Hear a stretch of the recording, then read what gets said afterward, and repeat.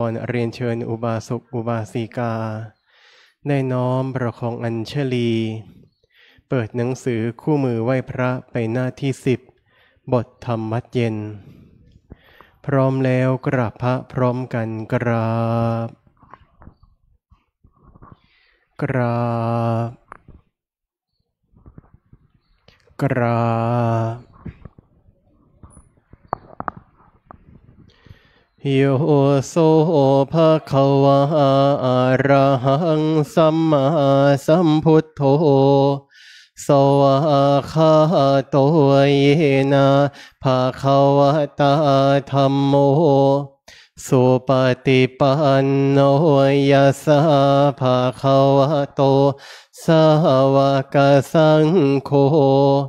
ตามมายังภะคะวันตังสัทธัมมังสัสังขังอิเมหิสักการะหิยะทารหัง โรปิเตหิอภิปูชยามะ สาธุโนพันเตภะคะวา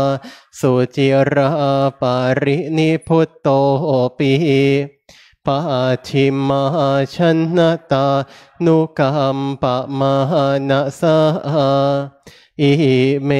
สกการะทุขตาปันนาการะโพเตปฏิคันหาตุ อัมหากังทีคารตังหิตายะสุขายะอะ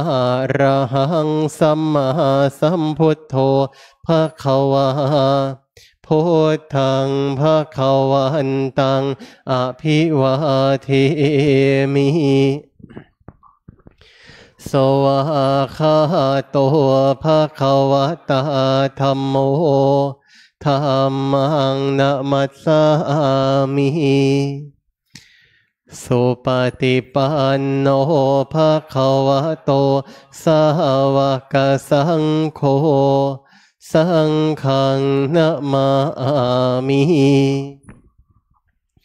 หันทธานิมายังตังภะเขาหันตังภาจายะอภิคายิตง ปุพพาคณมการันเจวะพุทธานุสตินยัญจะกะโรมะเสนะโมตัสสะภะคะวะโตอะระหะโตสัมมาสัมพุทธัสสะนะโมตัสสะภะคะวะโตอะระหะโตสัมมาสัมพุทธัสสะ นะโมตัสสะภะคะวะโต อะระหะโต สัมมาสัมพุทธัสสะสังโฆปะนาภะคะวันตัง เอวังกัลยาโน กิติสัทโธอภุคะโต อิติปิโสภะคะวาอะระหังสัมมาสัมพุทโธวิชาจารณะสัมปันโนสุขโตโลกาวิทูอนุตตโรปุริสธรรมมาสารทิสัตทาเทวมนุษย์ สานังพุทโธภะคะวาติหันธรรมยังพุทธาภิกขิติงกะโรมะเสพุทธวารหันตาวรตาทิคุนาพิยุตโตสุทธาพิยานาการุณาคาตโต โพเทสิโยสุชนะตังกะมะลังบาโสโรวันธามะหังตามะนังสิรสาชิเนนทังพุทโธโยสัพปานินังสารนังเคมามุตตะมัง ปาทามานุสติทานังบันทามิตังสิเรนะหังพุทธาสหัสสมิทาโสวะพุทโธเมสามิกิสโรพุทโธโทคาสะคาตาจาวิทาตาจาหิตาสเม พุทธสังนิยาเทมิสาริรันชีวิตันจิทังวันหันโตหังจาริสามิโพธาเสวสุโพธิตังนาทิเมสารนังอัญญังพุทโธเมสารนังวรัง เอเตนะสัจวัตเชนะวัฏทายังสาธุสาสเนเมวันทะมาเนนะยังปุญยังปัสสุตังอิทาสาเพปิอันตารายามิมาเหสุงตาสติชะสา กายเยนะวาจายวเจตสาวาพุทเทกุกรรมังปะกะตังมยายังพุทโธปฏิคันหะตัวจยันตัง กาลันตาเรสังวริตุงบะพุทเทหันธรรมยังธรรมานุสตินะยังกะโรมะเส สวาคาโตภะคะวะตาธรรมโม สันทิทิโกอากาลิโกเอหิปัสสิโก โอปานายิโกปัจจตังเวทิตาโพวินโยหิ ติหันธรรมยังธรรมาพิคิติงกะโรมะเสสวาคาตาตาทิโคนโยเขาหาเสนะไซโยโยมาคาปากาปาริยัติวิโมขะเพโท ธรรมโมกุโลกาปตะนาตถาธาริธารีวันธามหังตามหารัง วรธรรมเมตังธรรมโมโยสัพปานินางสารนังเคมหมุตตะมัง ทติยานุสติทานังบันทามิตังสิเรนังธรรมสหัสสามิทาโสวะสามิกิสโรธรรมโมโทคาสะคาตาจวิทาตาจหิตาสะเม ธรรมสังนิยาเทมิสาริรันชีวิตันจิทังวันทันโตหังจาริสามิธรรมเสวสุธรรมตังนาทิเมสารนังอัญญังธรรมโมเมสารนังวรัง อเตนะสัจจวัตเช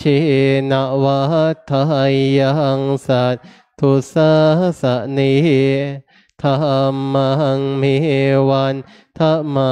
เนนะยังปุญยังปัสุตังอิทาปิอันตรายามิ มาเหสุงตัสสะเตชะสากายเนวาจายวเจตสวาธรรมเมกุกรรมังปะกตังไมหายังธรรมโมปฏิคันหตัวใจยันตัง กาลันตาเรสังวริตุงวะธรรมเม หันธรรมยังสังขานุสตินะยังกะโรมะเสสุปฏิปันโนภะคะวะโตสาวกสังโฆโอโชปฏิปันโนภะคะวะโตสาวกสังโฆ ยายาปฏิปันโนภะคะวะโตสาวกสังโฆสามีจิปฏิปันโนภะคะวะโตสาวกสังโฆยะทิทังจัตตาริปุริสายุคานิอาถาปุริสาปุคะลา เอสัพพะคะวะโตสาวกสังโฆอาหุนายโยปาหุนายโยทักขินายโยอัญชลีการนิโยอโนตตรังปุญญเขตังโลกัสสะติ หันธรรมยัง สังขาพิขิติงกะโรมะเสสัทธรรมโชสุปฏิปฏิคุณาพิยุตโตพิโทอาริยปุคารสังคเสโทศีลาทิธรรมปวราสยกายจิตโต วันธามหังตามาริยานาคนังสุสุทัง สังโฆโยสัพพปะนินังสารนังเคมามุตตะมังตาติยานุสติเทนังวันทามิตังสิเรนะหัง สังฆาสหัส สมิทาโสวะสังโฆเมสามิกิสโร สังโฆโทคาสคาตาจาวิทาตาจาหิตาสะเมสังนิยาเทมิสาริรันชีวิตันจิทัง วันหันโตหังจาริสามิสังฆาโสปฏิปันนตังนาทิเมสารนังอัญญังสังโฆเมสารนังวรังเอเตนะสัจจวัตเชนวัฏทายังสัตทุสาสะเน สังฆังเมวันทมาเนนายังปุญญังปัสสุตังอิทาสัพเพปิอันตรายามิมาเหสุงตัสสะเตชะสะกายนะวาจายวเจตสวา สังเคกุกรรมังปะกตังมยายัง สังโฆปฏิคันหะตัวใจหันตัง กาลันตาเรสังวาริตุงวะสังเคหันธรรมยังอติตปัจเจเวคณปาทังภนามเส อาชมยาปัจเจเวคิตวายังจิวรังปริพุตังตังยาวะเทวาสีตาสาปฏิคาตายาโอนหาสาปฏิคาตายาดังสมากาสวาตาตาปสิริงสัพพสัมผัสนังปฏิคาตายา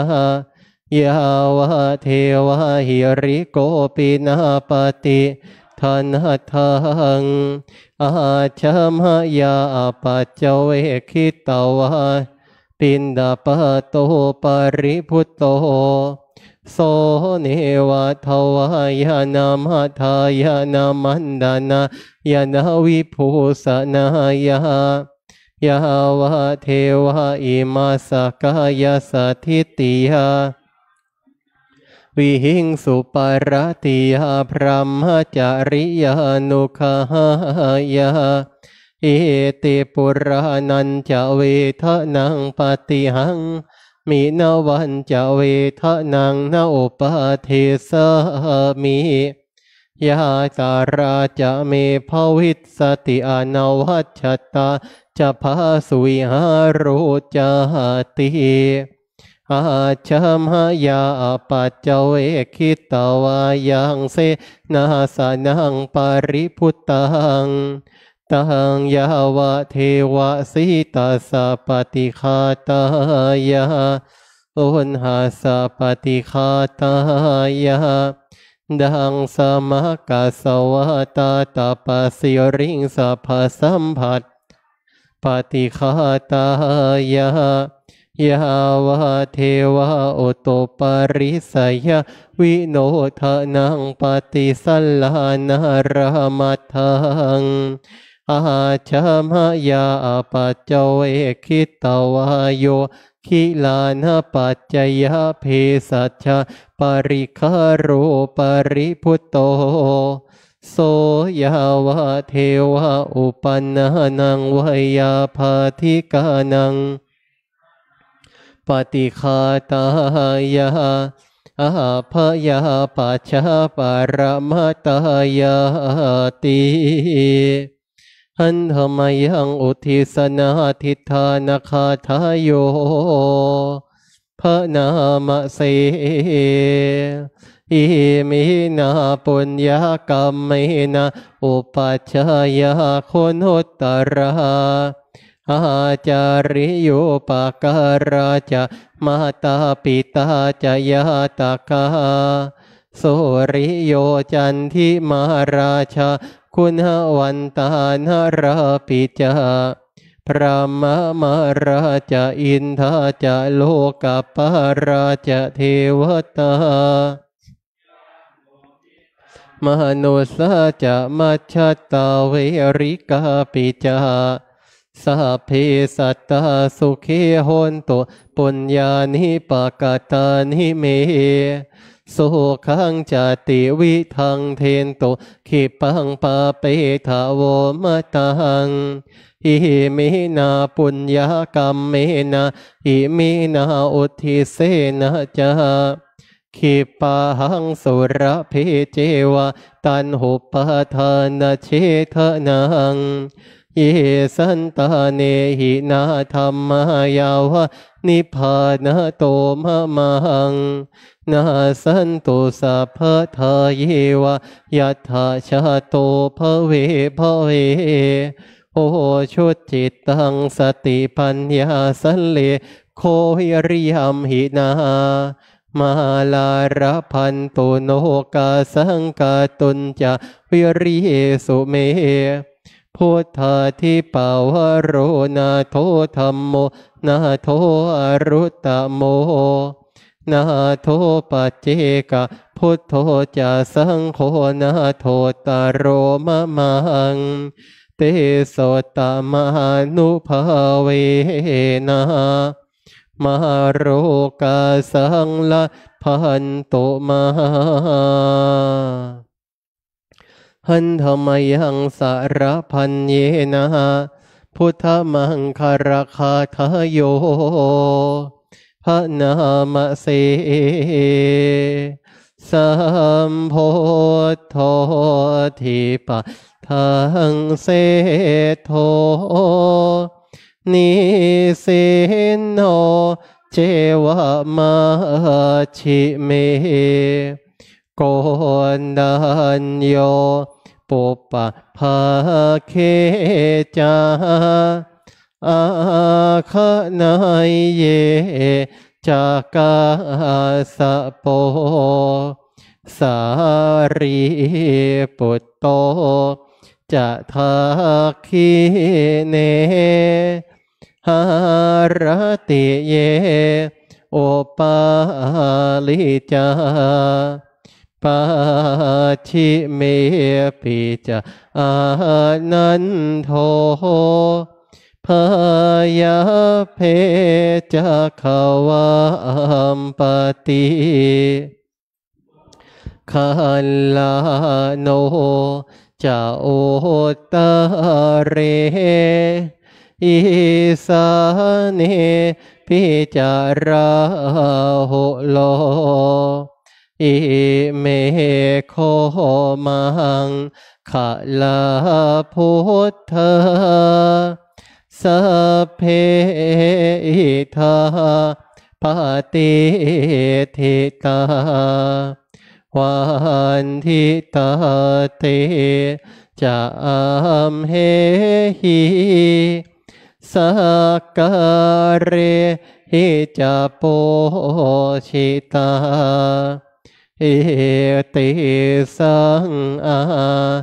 นุภาเวนะสัพพโสทิภวันตุโนอิ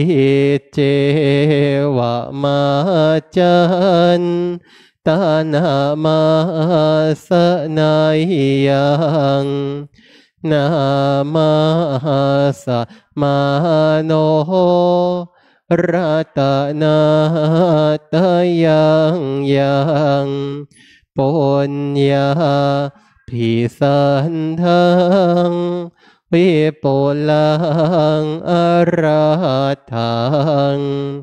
ตัสสนุภาเว นะหะตันต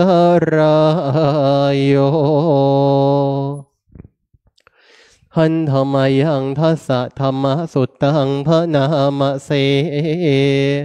เววันนิยามหิอาชูปะคะโตบัดนี้เรามีเพศต่างจากคฤหัสแล้ว กิริยาอาการใดๆ อันบรรพชิตควรประพฤติเราต้องทำกิริยาอาการนั้นๆปารปฏิพัทธาเมชีวิกา ความเลี้ยงชีพ ผู้อื่น เราควรทำตัวให้เขาเลี้ยงง่าย อันโยเมอากาโปการนิโย อาการกายวาจาอย่างอื่น ต้องทำให้ดีกว่านี้ยังมีอยู่อีก ไม่ใช่แต่เพียงเท่านี้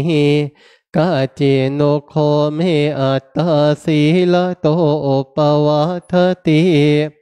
ตัวของเราเองตีเตียนตัวเราเองโดยศีลได้หรือไม่ กาเจโนโคมังอนุวิจจาวินโยสัพรมจารีสีละโตนะโอปวะทันติผู้รู้ใครครวนแล้วโอติเตียเราด้วยศีลได้หรือไม่สัพเพหิเมปิเยหิมนาเปหินานาภาโววินาภาโว เราจากเป็นต่างๆ คือจะต้องพระพรากจากของรักของเจริญใจทั้งสิ้นไปกรรมสะโกมหิกรรมทายาโทกรรมโยนิกรรมปฏิสารโนเรามีกรรมเป็นของของตน มีกรรมเป็นผู้ให้ผล มีกรรมเป็นแดนเกิด มีกรรมเป็นผู้ติดตาม มีกรรมเป็นที่พึ่งอาศัย ยังกรรมังการิสามิกัลยานังวะปาปะกังวะตัสสะทายาโทภวิสสามิเราทำกรรมใดไว้ เป็นบุญหรือเป็นบาป เราจะเป็นทายาทคือจะต้องได้รับผลของกรรมนั้นไปกาธรรมภูตัสะเมรตินทิวาวิติปตันติวันคืนล่วงไปล่วงไปบัดนี้เราทำอะไรอยู่กาเจโนโคหังสุญญาคาเรอภิระมามี เรายินดีในเสนาสนะอันสังหารหรือไม่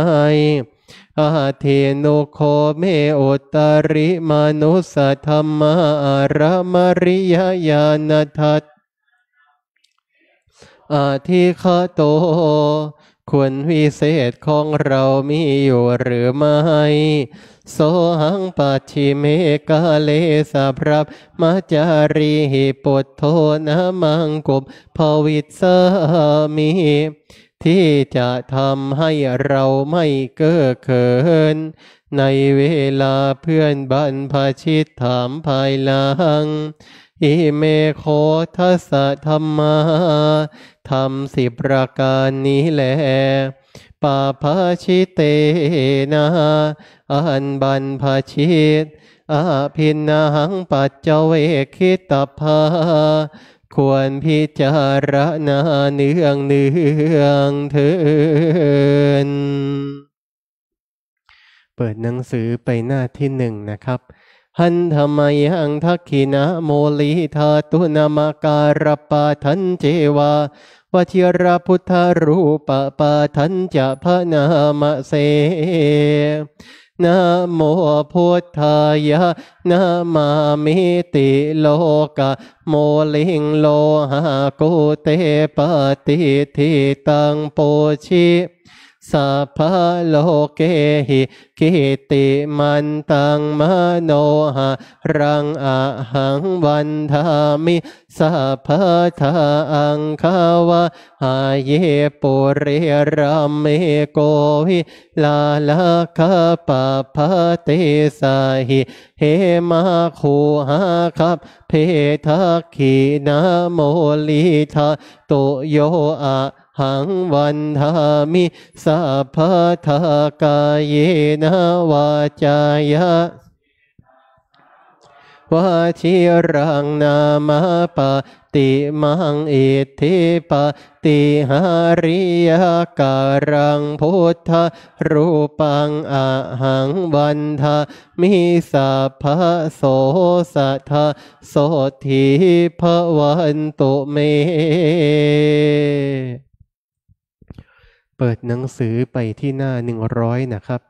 หันธรรมยังสิริมังคารมหาเทราพิทุติคาทาโยพนามเส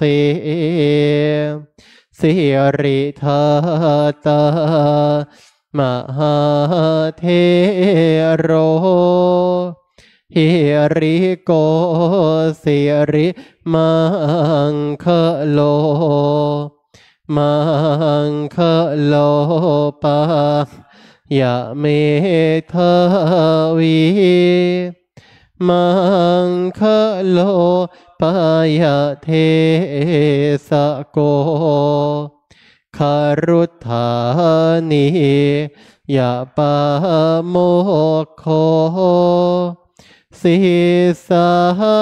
นุสีสนายโก โลกานุกามปิเมตยา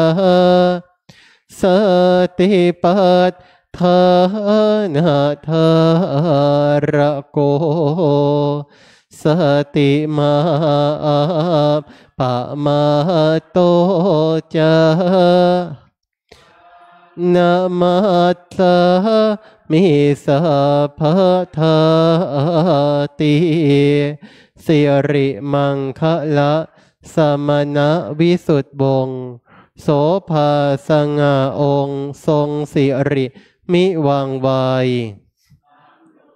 ยืนเดินนั่งผู้พร้อมร่างด้วยละอาย ปัญญาขจรขจาย ชี้อุบายอันมงคล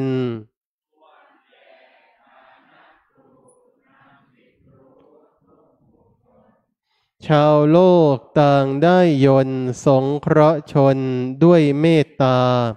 ผู้ทรงสติปัฏฐานตลอดการทุกเวลา ทรงนามสติมา ไม่ประมาทองอาจงาม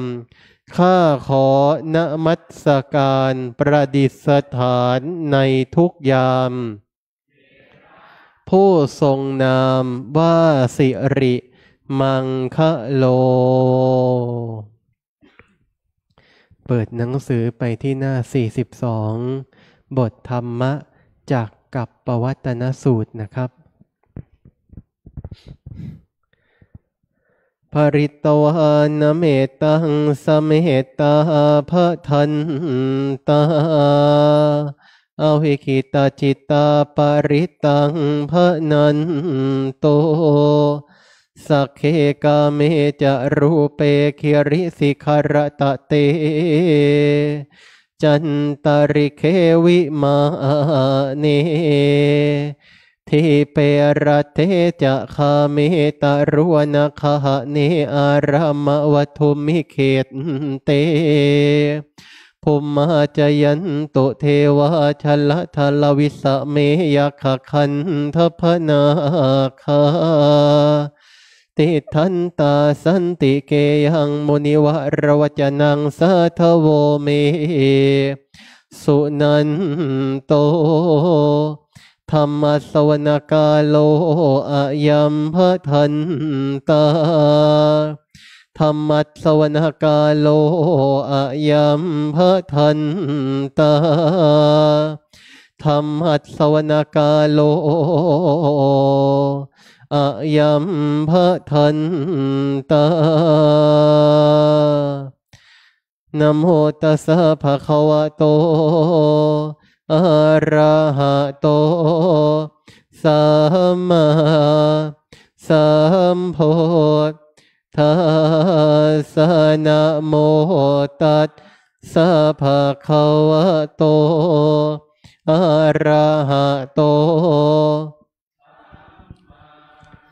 สัมพุทธัสสะนะโมตัส สะภะคะวะโตอะระหะโต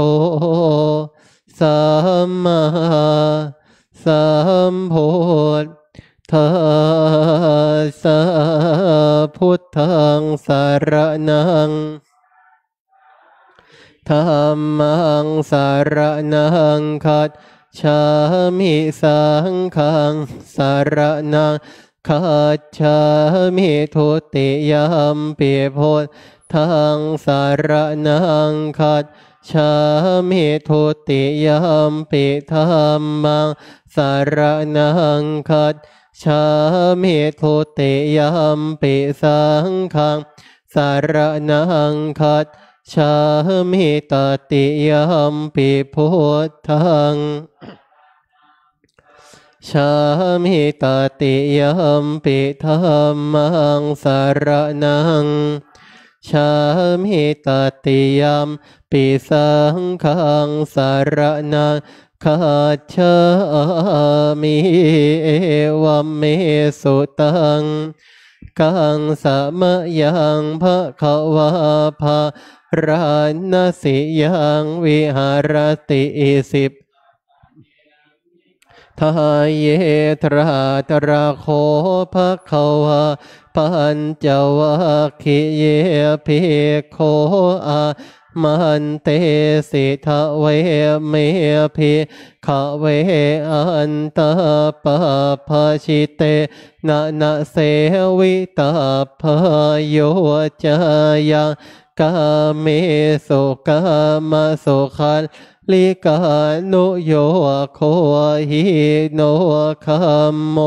โปทุตนาริโยอนาถสันหิโตโยจายังอัตกิละ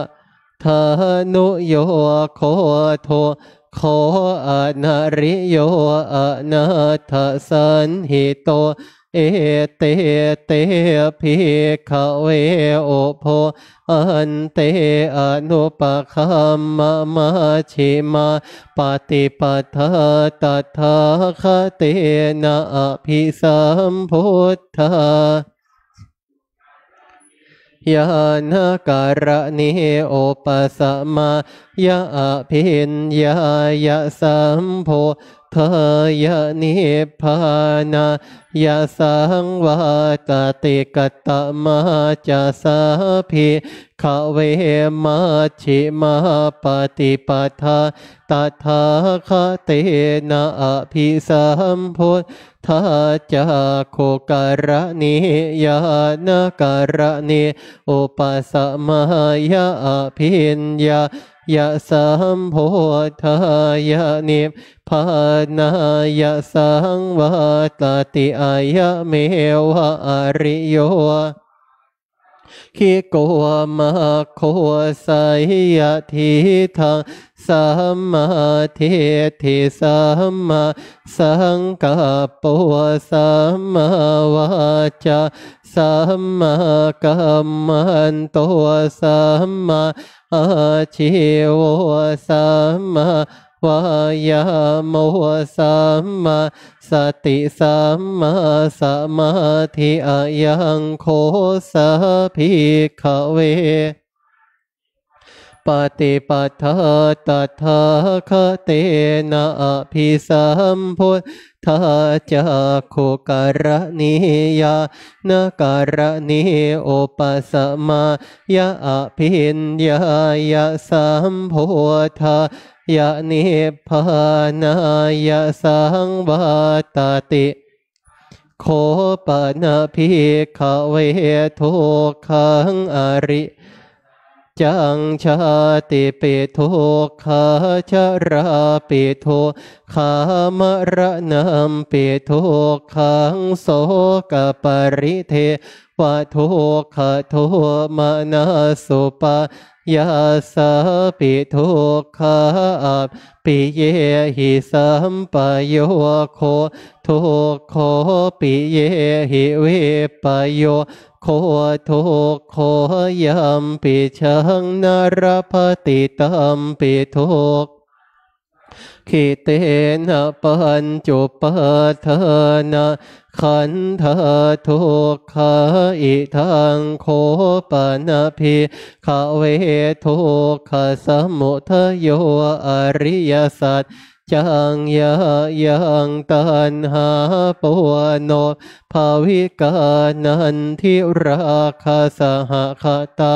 ตาตระตาตระพินันทินิสัยยะทิทัง มตันหาภาวะตันหาวิภาวะตันหาอิทังโคปานาภิขเว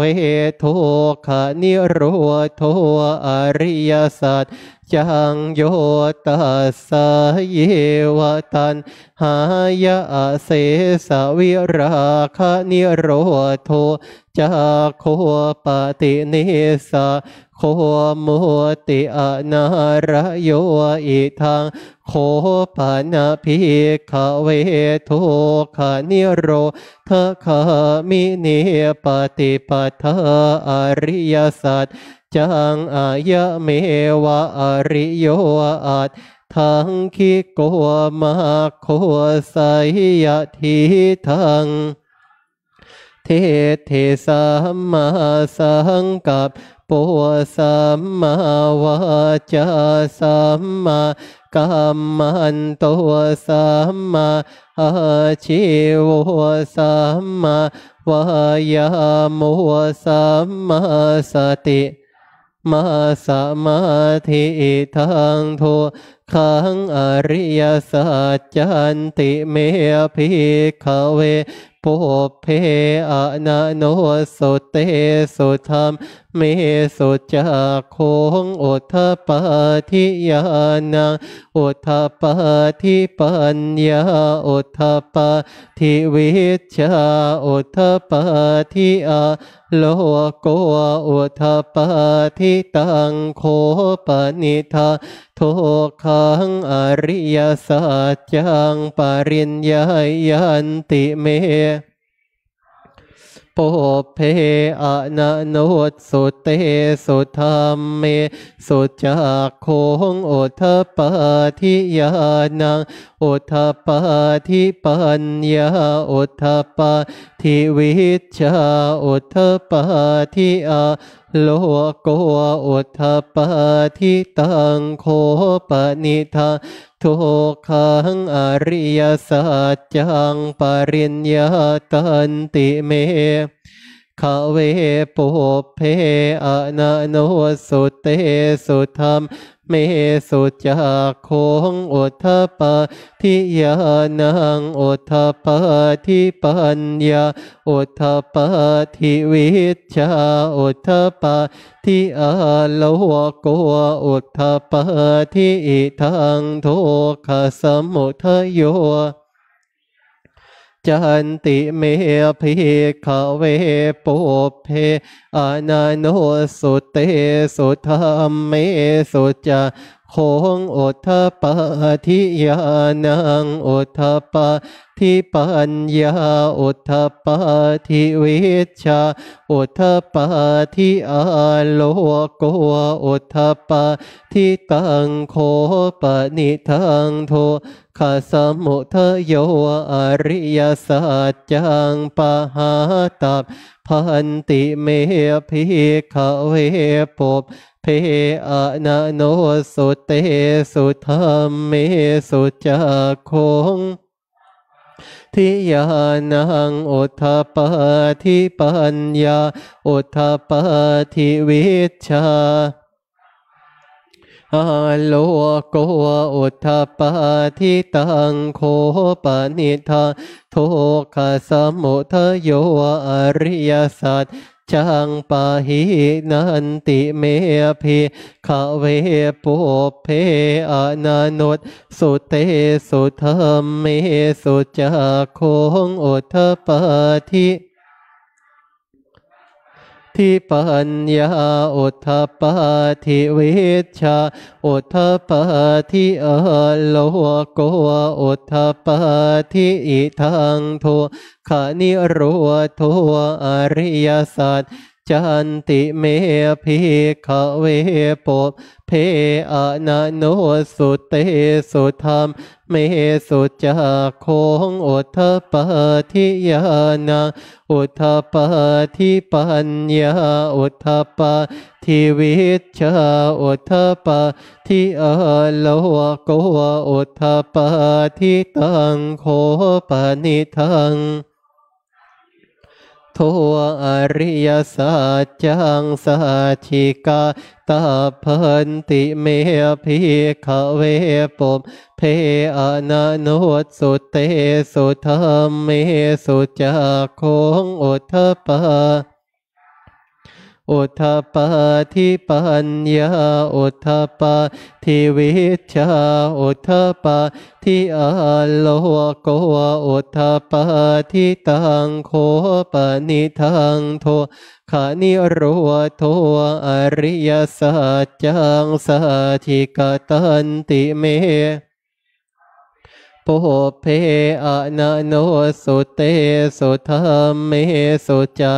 คงอุทปาทิยานังอุทปาทิปัญญาอุทปาทิวิชาอุทปาทิอาโลโกอุทปาทิอิทังโทขานิโรทคามินิปฏิปทาอริยสัจจันติเมภิขเวปุ เพอานาโนสุเตสุธรรมเมสุจักคง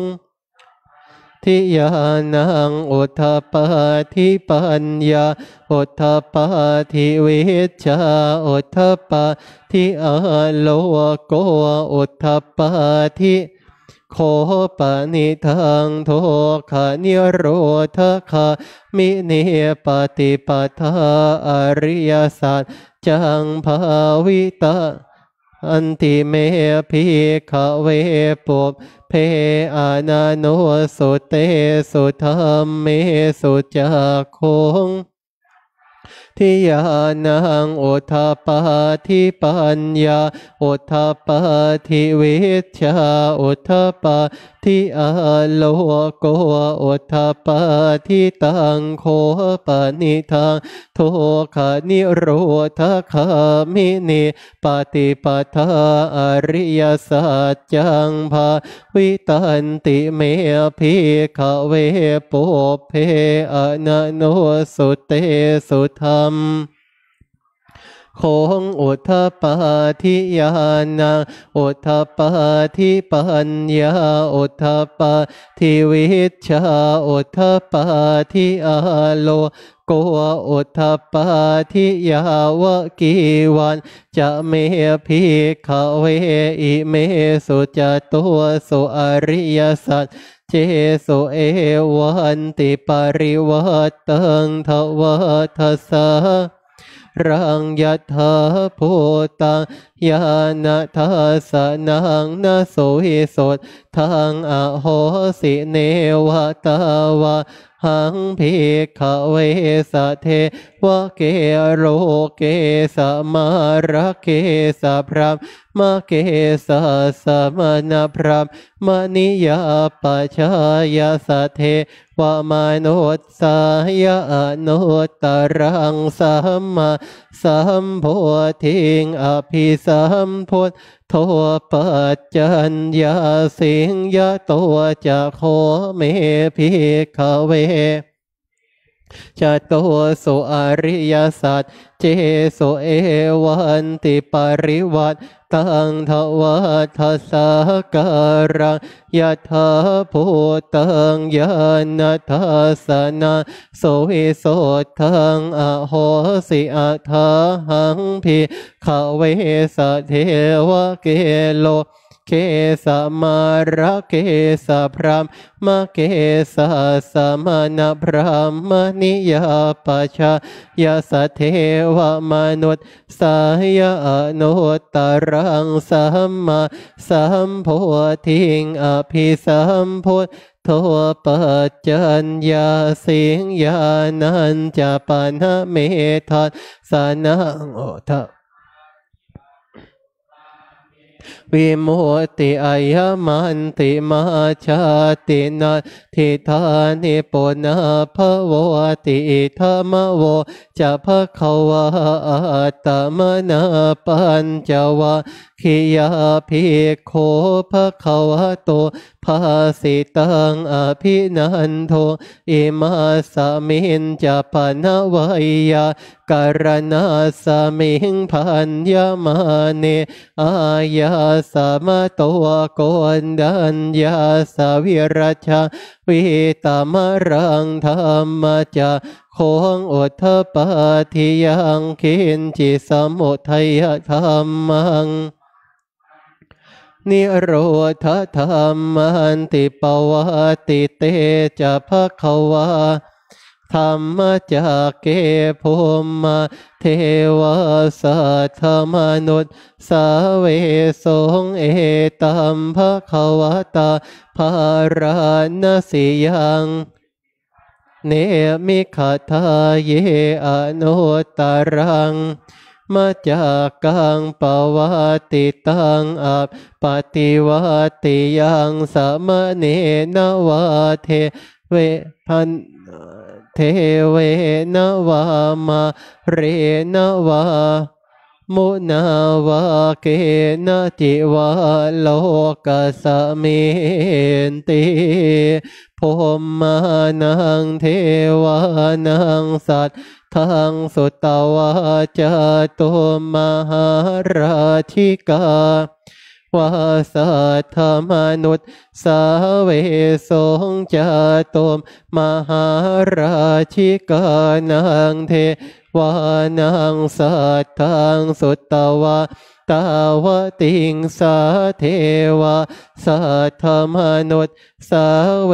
สงตาวติงสานังเทวานังสัทธังสุตตวายามาเทวาสัทธมนุษย์ ยามานังเทวานังสัตทังสุตตวะตุสิตาเทวาสัทธมนุษย์สาเวสงตุสิตานังเท วานังสัทธังสุตตวานิมมานรติเทวสัตธรรมนุษสาเวสงนิมมานรตินังเทวานังทังสุตตวาปรนิมมิตวสวัตติเทวสัตธรรมนุษย์สาเวสงพระละนิมมิตวสวัตินังเทวานังสัตทังสุตตวาพระมกายิกาเทวาสัทธรรมนุษย์สาเวสงเอตัมภะควตาภารานาสิยังอิสิปตะเน มิขทาเยอนุตรังธรรมจักกังปวัติตังอปติวัติยังสมเน มเนนวะเทเวนวะมาเรนวะพระมุนาวะเกณจิวะโลกัสมินติอิติหะเตนะคะเนนะเตนะโมหตเตนะยาวะพระมโลกัสัตโท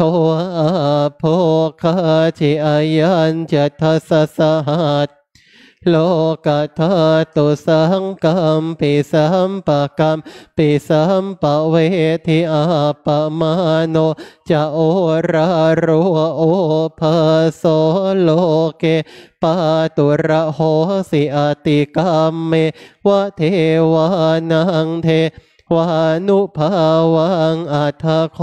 ภะคะวะอุทานังอุทาเนสิอันยาสิวตาผัวโกนดันโยอันยาสิวตาผัวโกนดันโยติทางอายาสามะตัวโกนดันยาสัญญาโกนดันโยตะเววนามัง อโหสิติทุกขปัตตาจานิทุกขพยาปัตตาจานิพยาโสกปัตตากาโหนตุสัพเพปิปานิโนเอตาวตาจะอัมเหหิสัมปตา ปุญญาสัมปทังสัพเพเทวานุโมทันตุสัพพสัมปติสิทธิยาธานาทัทันตุสัทธายะสีรังราขันตุสัพพทาภาวนาพิรตาโหนตุขัดฉันตุเทวตาคตาสัพเพพุทธา ปเจกานันจะยังพระรังอรหันตานันจะเตเชนรักขังพันธามีสัพพโสภวตุสัพพมัง ตุสัพะเทวตาสัพพะพุทธานุภาเวนัสทาสดทีภวันตุเตภวตุสัพมังคลังระขันตุสัพะเทวตาสัพพธรรมานุภาเวนัสทธาโสทีภวันตุเตภวตุสัพมัง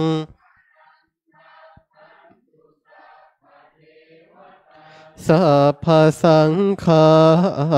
นุภาเวนัสทาโสทีภาวันตุเต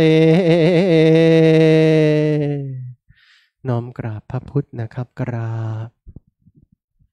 กราบ กราบ น้อมกราบลูกเคารพพระเดชพระคุณหลวงปู่กราบ กราบ กราบ ในลำดับต่อไปอุบาสกอุบาสิกาจะได้ขอสมาทานอัตศีล และเบญจากศีลจากผู้ช่วยเจ้าวาดคือพระเดชพระคุณพระอมละเวที สืบต่อไปนะครับ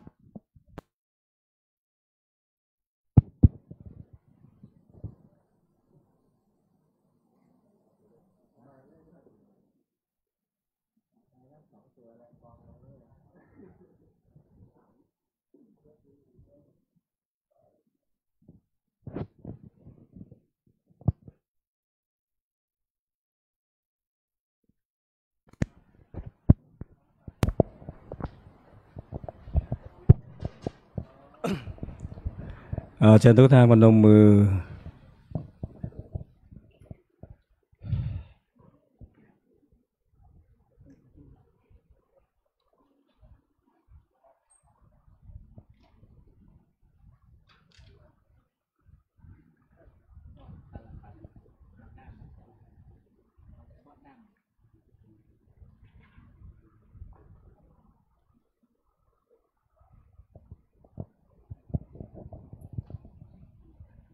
พร้อมแล้วกราบ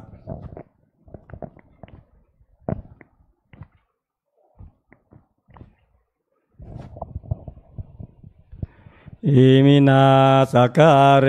นะ ตังพุทธัง อะภิปูชะยามะ อิมินา สักกาเรนะ ตังธัมมัง อะภิปูชะยามะอิมินาสการเรนะ ตังสังขังอภิปูชยามาอารังสัมมาสัมพุทโธภะคะวาพุทธังภะคะวันตังอภิวาเทมิสวากาโตภะคะวตาธรรมโมธัมมังนามาสามิสุปฏิปันโนภะคะวะโต อวกสังโฆสังฆังนามามิมายังพันเตติสารเนนาสหะอาทาศีลานิยาจามาทุติยมปีมายังพันเตติสารเนนาสหะ อาทาศีลานิยาจหามาตาติยมปีมายังพันเตติสาราเนนาสหะอาทาศีลานิยาจหามานะโม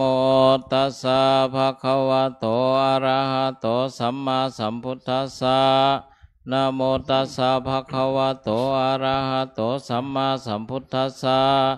นะโมตัสสะภะคะวะโตอะระหะโตสัมมาสัมพุทธัสสะนะโมตัสสะภะคะวะโตอะระหะโตสัมมาสัมพุทธัสสะนะโมตัสสะภะคะวะโตอะระหะโตสัมมาสัมพุทธัสสะ นะโมตัสสะภะคะวะโตอะระหะโตมาสัมพุทธัสสะ พุทธังสารนังคัจฉามิพุทธังสารนังคาฉามิธัมมังสารนังคัจฉามิธัมมังสารนังคาฉามิสังฆังสารนังคัจฉามิสังฆังสารนังคาฉามิทุติยมปิพุทธังสารนังคัจฉามิ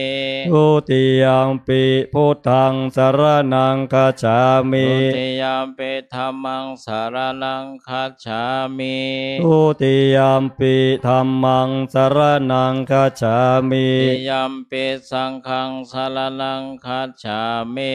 ทุติยมปิสังฆังสารนังคาฉามิตติยมปิพุทธังสารนังคัจฉามิตาติยมปิพุทธังสารนังคาฉาติมิยมปิธัมมังสารนังคัจฉามิยัมปิธรรมังสารนังคาฉามิติยมปิสังฆังสารนังคัจฉามิสังฆังสรนังคาฉามิปานาติปาตาเวรมณี สิกขาปะทังสมาธิยามิปานาติปาตาเวระมณีสิกขาปะทังสมาธิยามิอาทินนาทานาเวรมณีสิกขาปะทังสมาธิยามิอาทินาทานาเวระมณี สิกขาปะทังสมาธิยามิกาเมโสเมชาชาลาเวลามณีสิกขาปะทังสมาธิยามิ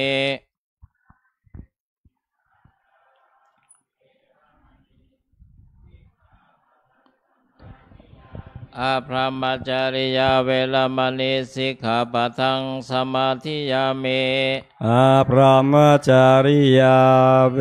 ระมณีสิกขาปะทังสมาธิยามิมุสาวาทาเวรมณีสิกขาปะทังสมาธิยามิ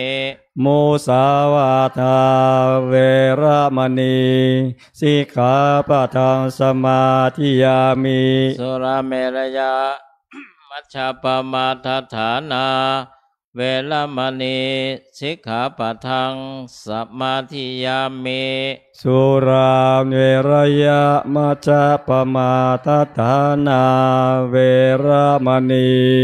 สิกขาปะทังสมาธิยามิ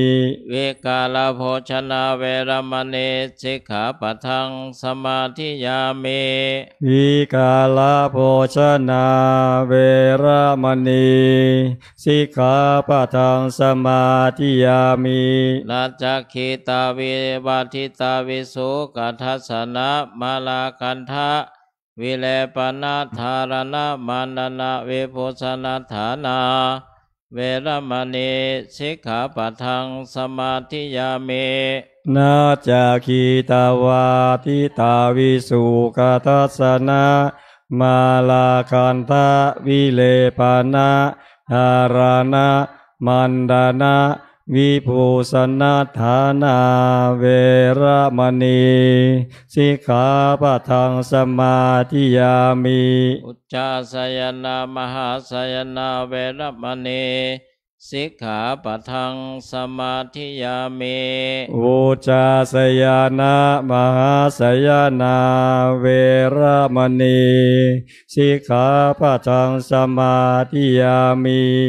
มาเนปัญจายมาเนอัตถาสิกขาปทานิสมาธิยามิอิมานิอัฏฐะ สิกขาปะทานิ สะมาทิยามิอิมานิอัฏฐะ สิกขาปะทานิ สะมาทิยามิอิมานิอัฏฐะ สิกขาปะทานิ สะมาทิยามิ มานิ ปัญจะ อิมานิ อัฏฐะ สิกขาปะทานิสิเลนะโสขติงยันเตสาธุสีเลนะโภคสัมปทาสาธุสีเลนะนิพุติงยันเตสาธุตัสมาสีลังวิโสทะเยอามาพันเตกราบ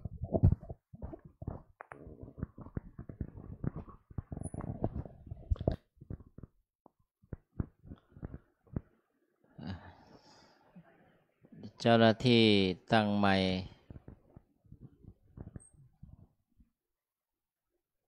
เพื่อรักษาธรรมเนียมที่พระเดชพระคุณหลวงปู่พระพรหมมงคล หลวงปู่ทองสิริมังคละมหาเถระพระเดชพระคุณหลวงปู่ได้วางไว้ นั้นอนุชนคนรุ่นหลังคณะสิทธิ์ก็ได้ดำเนินตามระเบียบที่หลวงปู่วางไว้ พื่อรักษาธรรมเนียมนั้น ภาคค่ำคืนวันนี้นะโยม เป็นวันธรรมสวนะวันพระอีกวันหนึ่ง วันขึ้นสิบห้าค่ำเดือนเก้าใต้สิบเอ็ดเหนือสิบเอ็ดเหนือ ถ้าเดือนหน้าก็วันเพ็ญเดือนวันเดือนสิบสองเหนือสลักกพัดจะจำแม่นหน่อยสลักกพัดเนี่ยเพราะฉะนั้น ขอรัตนาวันนี้ท่านพระมหากิติพงษ์ธนกโรอ่าปรริยนธรรมเก้าประโยคได้ให้ธรรมะบรรณาการแก่ญาติโยม ขอรัตนา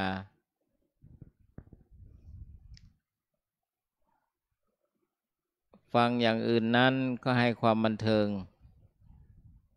แต่ถ้าฟังธรรมะแล้วเราได้บรรเทาเนี่ย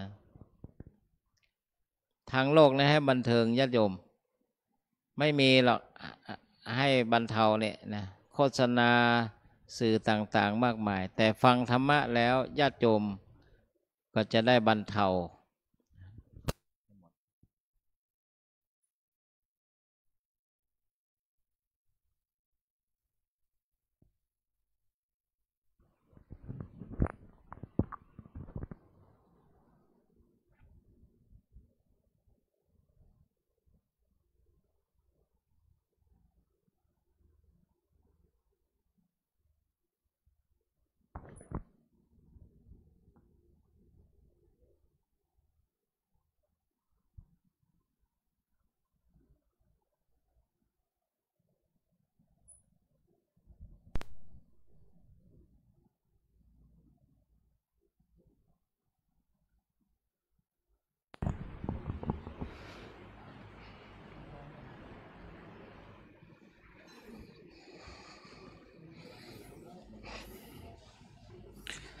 นมัตถุรัตนตยสะ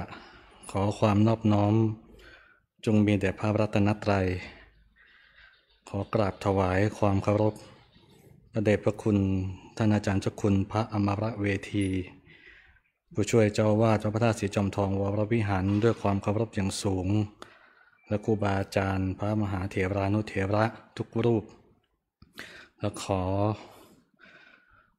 เจริญพรไปยัง สมณเณรทุกรูป และขอความผาสุขจงมีแด่ญาติโยมสาธุชนทุกคนทุกท่าน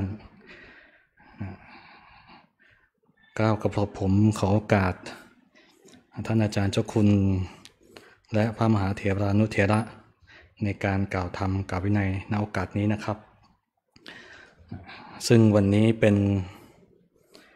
วันจันทร์ที่ 19 เดือน สิงหาคมพุทธศักราช 2567 ตรงกับวันขึ้น 15 ค่ำเดือน 9 ญาติโยมท่านทั้งหลาย วัดพระธาตุสีจอมทองของเราก็ได้มีกิจกรรมวันพระ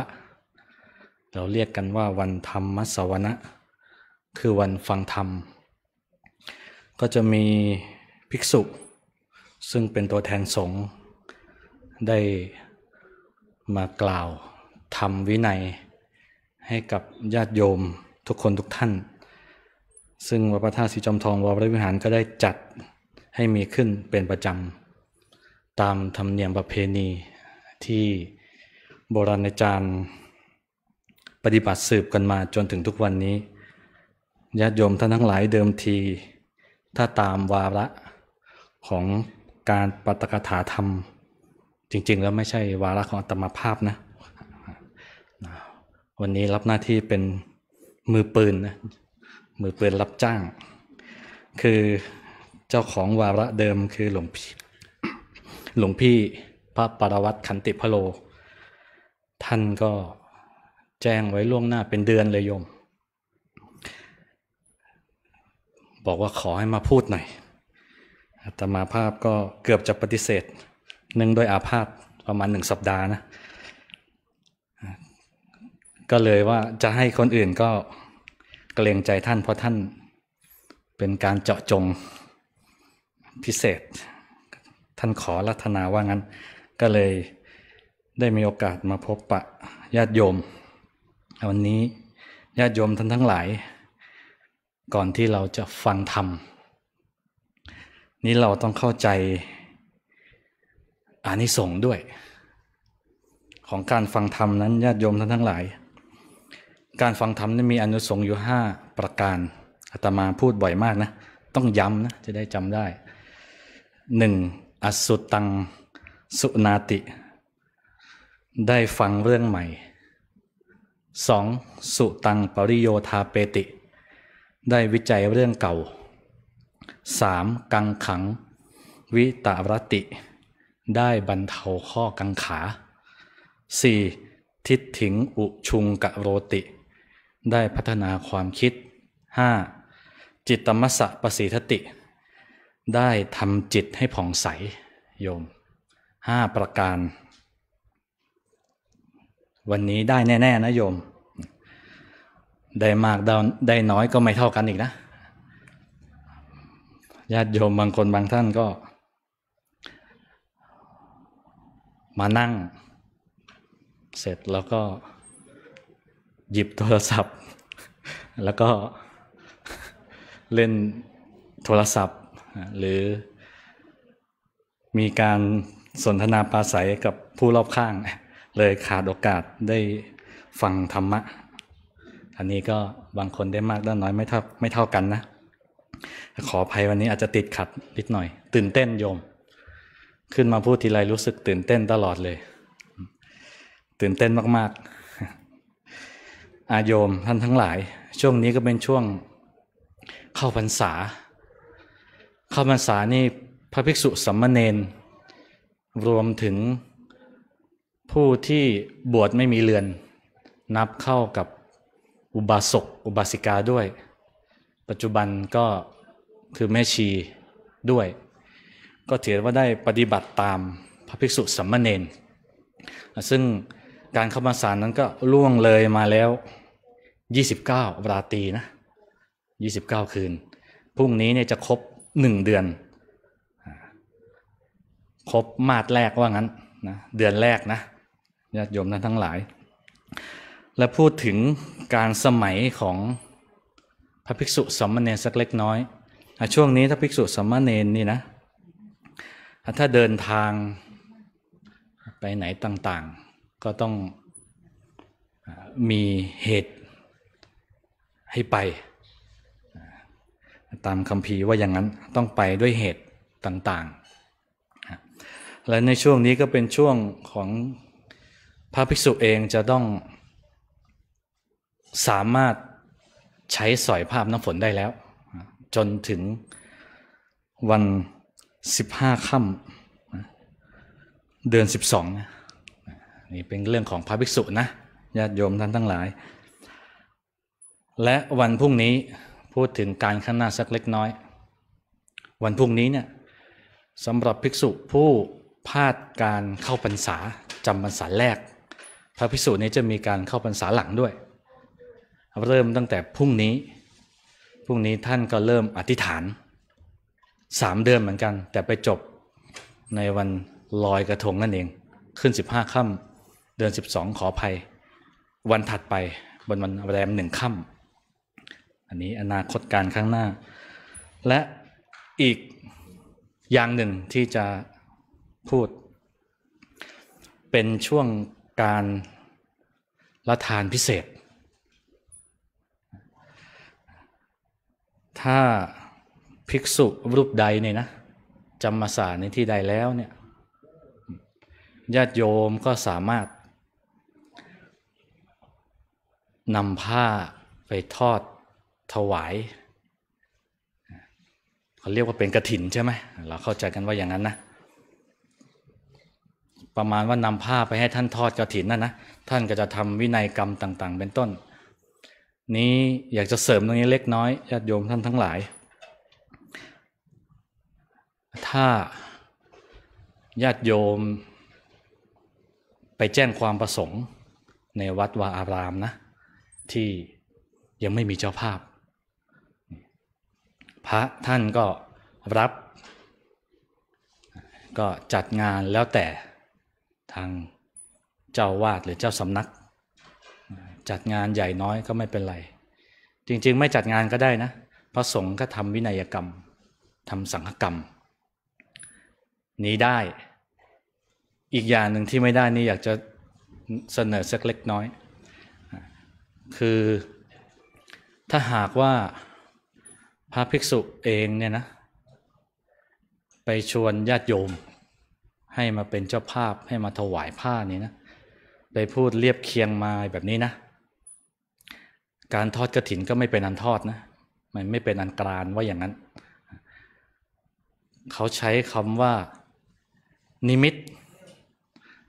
ได้มาด้วยนิมิต อีกอย่างหนึ่งได้มาโดยปริกถา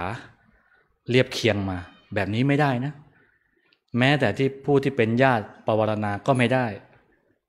บอกพ่อแม่ตัวเองก็ไม่ได้นะ อย่างเช่นยกตัวอย่างนะ อัตมาภาพบอกโยมชวน พูดเป็นในว่า เนี่ย จะออกพรรษาแล้ว ยังไม่มีเจ้าภาพกระถินเลย โยมเข้าใจโยมจัดผ้ามาถวายเรียบร้อย พระทั้งวัดกรานกระถินไม่ได้ การได้แต่ก็ไม่เป็นอันกรานอันนี้สงก็ไม่ได้ อย่างนี้เป็นต้นนะ อันนี้ได้มานำเสนอในเรื่องของพระวินัย เรื่องที่โยมไม่รู้ก็ต้องรู้นะ เพราะว่าท่านจะได้ปฏิบัติถูกพระสงฆ์เองในอารามก็จะได้ปฏิบัติถูกร่วมกัน อันนี้เรื่องของการสมัยแห่งพระธรรมวินัยสักเล็กน้อยในช่วงเทศกาลวันนี้อาตมาภาพจะนำเรื่องเรื่องหนึ่งที่ได้เคยศึกษามาแล้วแล้วรู้สึกน่าเอามาเป็นกระทู้ มาตั้งเป็นหัวข้อได้มาบรรยายให้ญาติโยมทั้งหลายได้ฟัง ตั้งเป็นกระทู้ก่อนเลยว่าญาติโยมท่านทั้งหลาย พระโสดาบันเนี่ยนะ สามารถมีครอบครัวได้ไหม ถ้าประสงค์จะมีอยากจะมีเนี่ยมีได้ไหม ได้เนาะหรือไม่ได้ ไม่ได้มีเสียงมาแล้วนะจากทางด้านซ้าย ขวามือตมาภาพนะ อีกเสียงหนึ่งได้เนาะ ตอบในใจตมาก็เดาเอานะ ทีนี้นำเรื่องมาบรรยายเลยแล้วกัน ว่าได้หรือไม่ได้นะอาตมาจะได้นำเรื่องในธรรมบทเรื่องหนึ่ง คือลูกเศรษฐีคนหนึ่งญาติโยม หน้าตาสละสลวยด้วย โตมาเนี่ยนะ บุญเด็กหญิงคนนี้นี่ดีนะ เฉลยก่อนเลยนะ เด็กหญิงคนนี้แกบรรลุโสดาบันคำตอบเฉลยตั้งแต่ต้นเรื่องไปเลยเนาะจะได้ไม่ต้องสงสัยกัน เด็กหญิงคนนี้แกเป็นโสดาบัน พ่อแม่ก็เป็นเศรษฐีแกก็หวงนะก็เลี้ยงลูกไว้บนปราสาทชั้นเจ็ด ภาษาสมัยใหม่ก็เรียกเลี้ยงไว้บนคฤหาสน์เนาะชั้นสุดท้ายเลย เลี้ยงอยู่กับคนใช้ ก็เลี้ยงดูแลอย่างดี เด็กหญิงสาวคนนี้วันหนึ่งแกเห็น ผ่านล่าเนื้อ เดินผ่านบ้านตัวเอง แกเห็นแล้วนะ เด็กหญิงสามคนนี้เห็นแล้วก็รู้สึกปฏิพัทธ์ขึ้นในใจเลย อยากได้มาเป็นสามีว่างั้น แกก็เด็กหญิงสาวคนนี้ก็ส่งคนใช้ให้ไปถามไถ่เอ๊ท่านมาเวลาไหนบ้าง กลับเวลาไหนบ้าง แล้วก็แอบส่งข้าวของเครื่องใช้ให้ ไปไปมามาญาติโยมทั้งหลาย เด็กหญิงสาวก็ปลอมตัว แต่งตัวคล้ายๆ คนใช้นะนสมัยในคำ สมัยก่อนก็เรียกเป็นทาสนะ เป็นคล้ายๆ แต่งตัวเป็นนางทาสเลยมอมแมมเปะปะหน่อยแล้วก็หนีตามออกจากบ้านเลยหนีตามพานล่าเนื้อไป เดินตามทิ้งระยะอยู่ข้างหลัง ประมาณว่าสะกดรอยตาม พานหนุ่มคนนั้นแกก็ ขับเกวียนไปเฮ้เด็กหญิงสาวคนไหนเนี่ยมาเดินตามเราต้อยต้อยต้อยแกก็ถาม น้องหญิงเป็นลูกสาวใครเนี่ยมาเดินตามเราทำไม พี่ก็ขับของพี่ไปสิ ฉันมาของฉันเอง มีการสอบถามกันเล็กน้อย แกก็ขับเกวียนไป ก็เห็นนี่แกก็ถาม เอ๊ะมันยังไงกันนี่ตามทำไมนักเนี่ย ฉันอยากเป็นเมียพี่ โอ้ โยม ยิงคำถามมาแบบนี้ผ่านล่าเนื้องงเลยไปไม่เป็นเลยเอ๊ะมันยังไงกันเนี่ย มันยังไงกันเนี่ยทำไมน้องหญิง แล้วน้องหญิง ลูกเศรษฐี หน้าตาสละสลวยแกก็บอกว่า นางก็บอกว่า ธรรมดาแล้วนะอย่าห้ามเสริ อย่าปฏิเสธ นะคนธรรมดาเขาไม่ปฏิเสธกันหรอกนั่นเนี่ยนายพานล่าเนื้อได้ยินปุ๊บเข้าใจความหมาย อุ้มหญิงสาวคนนั้น ขึ้นเกวียนแล้วก็เดินทางกันไป พ่อแม่ผู้เป็นเศรษฐีนะโอ้ตามหาลูกสาวแล้วเล่าเล่าสุดท้ายก็คิดว่าลูกเราไปซะแล้วก็เลยทำบุญอุทิศให้ คิดว่าลูกหายสับสูญไปแล้วต่อมาญาติโยมท่านทั้งหลาย ผ่านล่าเนื้อกับลูกเศรษฐี แกก็อยู่กินกัน จนได้ลูกชายเจ็ดคน โอ้โห สมเจตนาของท่านนะ สมเจตนาของ หญิงสาว ออกตัวแรงบอกว่า อยากได้ท่านเป็นสามีว่างั้น ได้ลูกเจ็ดคนจเจริญเติบโตมาเป็นครอบครัวใหญ่ทีนี้ ลูกโตมาก็มีคู่ครอง ก็ได้ลูกสะพ้ยอีกเจ็ดคนโยม เป็นเท่าไหร่แล้วสิบสี่บวกผู้เป็นพ่อกับเป็นแม่ใช่ไหม ผ่านล่าเนื้อผู้เป็นพ่อใช่ไหมลูกเศรษฐี ลูกสาวเศรษฐีผู้เป็นภรรยา เป็นสิบหกโยม ครอบครัวใหญ่ วันหนึ่งผ่านล่าเนื้อก็ต้องออกไปล่าสัตว์ปกติ ภรรยาก็จะเตรียมเครื่องสตราอาวุธต่างๆ ให้ผู้เป็นสามี สามีแกก็ออก ล่าสัตว์ปกติ ปกติแล้วแกก็จะดักบ่วงนะ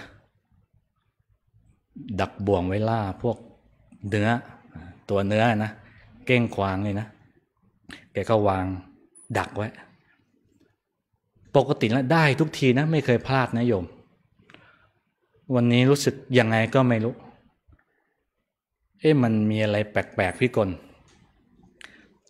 บริเวณรอบๆบ่วงนี่นะ มีรอยเท้าคนด้วยเอ็มันชักยังไงละกว่าสายตาดูรอบๆอ้าวนักบวชที่ไหนมานั่งอยู่ใต้ร่มไม้เนี่ย นั่งสมาธิอยู่อย่างนั้นนะโยม ปรากฏว่าเป็นใครรู้ไหมพระพุทธเจ้า ย้อนกลับไปสักเล็กน้อย ก่อนที่พระพุทธเจ้าจะเสด็จมาตรงเนี้ยนะ พระเจ้าทรงตรวจอุปนิสัยและอัธยาศัยแล้วว่า วันนี้นะ ใครจะมาปรากฏในข่ายของพยาน ใครจะมีอุปนิสัยได้นับถือพระรัตนตรัยหรือที่สุดคือบรรลุธรรม ก็ปรากฏว่า ครอบครัวใหญ่ครอบครัวนี้เองนะทั้ง 14บวก2ใช่ไหม ลูกชาย ลูกสะพ้ยและอีกคนหนึ่งสามี ไม่นับภรรยา เพราะว่าอะไร บรรลุแต่เด็กแล้วนะพระเจ้าเลยมาประทับนั่งจึงทำแบบนี้ ไปแสดงรอยพระบาทข้างๆบ่วงนั่นแหละนายพานแล้วเนื้อแกเห็นแกก็โกรธผูกอาฆาตเลยแหมเรา อด สัตว์ไม่ได้สักตัวเลย แกก็ผูกอาฆาต แกก็ง้างธนู จะยิงพระพุทธเจ้า ปรากฏว่าพระเจ้าทรงทำอิทธาพิสังขารเขาเรียกบันดาลอิทธิฤทธิ์ให้ในายพานล่าเนื้อนั้นนั้นนะ ค้างอยู่อย่างนั้นนะโยม ยืนโกงธนูอยู่อย่างนั้นนะจนแกปวดสีข้างไปหมดเลยนะ เหงื่อโซมไหลทั่วกายเลย น้ำลายไหลเลยนะโอ้แกก็ปวด เหมือนโดนสาบอย่างนั้นสะกดจิตว่างั้นหนังจีนใช่ไหมสะกดจิตไปไหนไม่ได้แล้วก็ยืนอยู่อย่างนั้น ค้างตึงอยู่อย่างนั้น เวลาผ่านไปสักพัก ภรรยาแกก็เอ๊สามีเรากลับบ้านช้านะวันนี้แปลกๆ สั่งให้ลูกชายไปตามเจ็ดคน ช่วยกันตะเวนหา พ่อ ไปถึงปุ๊บเห็นพ่อง้าง ธนูจะยิงศัตรูแน่ๆ ผู้เป็นศัตรูฝ่ายตรงข้าม ก็เลยง้างด้วยโยม ปรากฏว่า ยืนง้างเหมือนพ่อตัวเองนั่นแหละโบกอีกเจ็ดเป็นแปดแข็งทื่ออยู่กับที่อย่างนั้นโยม นี้ด้วยพุทธานุภาพนะ อย่างที่บอก อิทธิฤทธิ์ของพระพุทธเจ้าพระเจ้าทำแบบนี้ เพื่อให้คลายทิฏฐิ รวมเป็นแปดแล้วใช่ไหมทั้งลูกชายทั้งพ่อ ต่อมาภรรยา และลูกสะพ้ยก็รู้สึกแปลเข้าไปอีกใช้ให้ตามคนไปตามกับยังไม่มาอีกเอ้าทีนี้ ก็เลยยกกันไปทั้งบ้านเลยโยม ลูกสะพ้อีกเจ็ดแล้วก็ภรรยา ก็ไปตาม เจอพังงะเลยเอ้าตายแล้วยืนแข็งอยู่อย่างนั้นน่ะ สภาพนี่ดูไม่จืดเลยนะโยม ดูสภาพแบบปวดเนื้อปวดตัวร่างกายนี่สั่นสะท้านเลยนะ ภรรยาแกเห็นแกตะโกนเลยบอกยุดยุดยุดนั่นพ่อฉันเอง สามีและลูกชาย ได้ยินก็รู้สึก โอ้ในใจ สามีและลูกชายไม่เคยเห็น ไม่รู้จักตาตัวเองและพ่อและพ่อตาตัวเองใช่ไหมแกก็เลยในใจว่าโอ้ เราจะฆ่าพ่อตาแล้วแล้วเหรอนี่ เราจะฆ่าตาแล้วแล้วเหรอพระพุทธเจ้าทรงทราบวาระจิตนั้น ก็เลยคลายลง เพราะด้วย ทั้งบิดาสามีและลูกชาย ไม่ผูกอาฆาตพระพุทธเจ้าแล้วพระเจ้าเลยคลายอะเสร็จแล้ว แกก็ภรรยาแกก็บอกท่านขอเข้ามาพระพุทธเจ้าเดี๋ยวนี้ ก็เลยพากันขอเข้ามาพระพุทธเจ้าก็ยกโทษให้โยม พอจิตแกน้อมเข้าไปแล้วเนี่ย เจ้าอาศัยตรงนี้แหละนะ ทุกอย่างต้องค่อยมาเป็นตามลำดับนะ ไม่ใช่ว่าเจอเข้าไปปุ๊บจะแสดงธรรมได้เลย พอเขาเลิกผูกอาฆาตปุ๊บพระเจ้าก็แสดงธรรมธรรมตัวนี้เขาเรียกว่าอนุปุพีกถา แสดงไปตามลำดับธรรมอนุปุพีกถาเนี่ยมีอยู่ห้าอย่างนะญาติโยมท่านทั้งหลายพระเจ้าก็แสดงเรื่องของทาน ศีลอทาน ศีล สวรรค์ โทษของกามและอนิสงค์ของการออกบวชจบปุ๊บต่อโดยอริยสัจสี่ทั้งสามี ลูกชาย ลูกสะพ้ยบรรลุโสดาปฏิมักเป็นโสดาปฏิบุคคลเลยนิยมท่านทั้งหลาย ต้องคลายทิฏฐิก่อนนะ พระเจ้าไม่ได้แสดงธรรมเลย นี่คือ เรื่องของการผูกอาฆาต ในพระพุทธเจ้า ถ้าเขาไม่ยอมคลายทิฏฐินะโยม ก็จะไม่มีโอกาสบรรลุธรรม ไม่มีโอกาสบรรลุธรรมเลยนะ ต่อมาเรื่องนี้ก็กระชอนไปเลย เป็นเรื่องใหญ่โตในสมัยนั้นให้เขาก็สงสัยกันเอ๊ะทำไม สงสัยว่าทำไมนะ ภรรยาเนี่ย เป็นโสดาบันตั้งแต่เด็กใช่ไหม แล้วเขาไม่เรียกว่าทำปานาติบาตหรือ คือการส่งเครื่องไม้เครื่องมือเครื่องประหารเนี่ยให้กับสามี ก็ตั้งเป็นคำถามแบบนี้ พระเจ้าก็ตรัสบอกว่า ปกติแล้วโสดาบันนั่นนะไม่ทำปานาติบาตเด็ดขาดพระโสดาบันนี่จะมีธรรมพิเศษ ชื่อบาลีว่าอวินิปาตธรรมนะธรรมที่ไม่ตกไปในอบายเป็นปกติธรรมในที่นี้หมายถึงสักยทิฏฐิเป็นต้น โสดาบันละได้สามอย่าง สามในสิบของสังโยชน์ไม่ทำเด็ดขาด เพราะว่าอะไรญาติโยม เขาทำตามคำสั่งสามี ไม่ได้สนับสนุนว่าและไม่ได้มีจิตอกุศล สนับสนุนว่าเอาพี่ยิงเลยไปล่าเนื้อให้ได้เยอะอะไรอย่างนี้ เป็นต้นแล้วกัน จิตเขาไม่มีสนับสนุนในการเรื่องการ มิจฉาชีพนี้ การล่าสัตว์ก็ถือว่าเป็นมิจฉาชีพนะโยม ภาษาไทยก็จะใช้ความหมายว่า เป็นการช่อโกงไปซะมากกว่า แต่จริงในภาษาทางธรรมเนี่ยนะเป็นของในเรื่องของการมีการหลอกลวงเป็นต้น แต่มาไม่ลงลึกเพราะว่ามิจฉาชีพมันเยอะหลากหลายประการประเภทนะในทางธรรมเขาเป็นแบบนี้ฮะ ถ้าแสวงมิจฉาชีพแล้วเนี่ยเขาก็จะรับกรรมอย่างนั้นอยู่เรื่อย แต่เขาโชคดีนะ ได้ภรรยาที่เป็นอริยะบุคคล ชั้นเบื้องต้น นิยมท่านทั้งหลายพระพุทธเจ้าก็ตรัสเป็นพระพุทธพจน์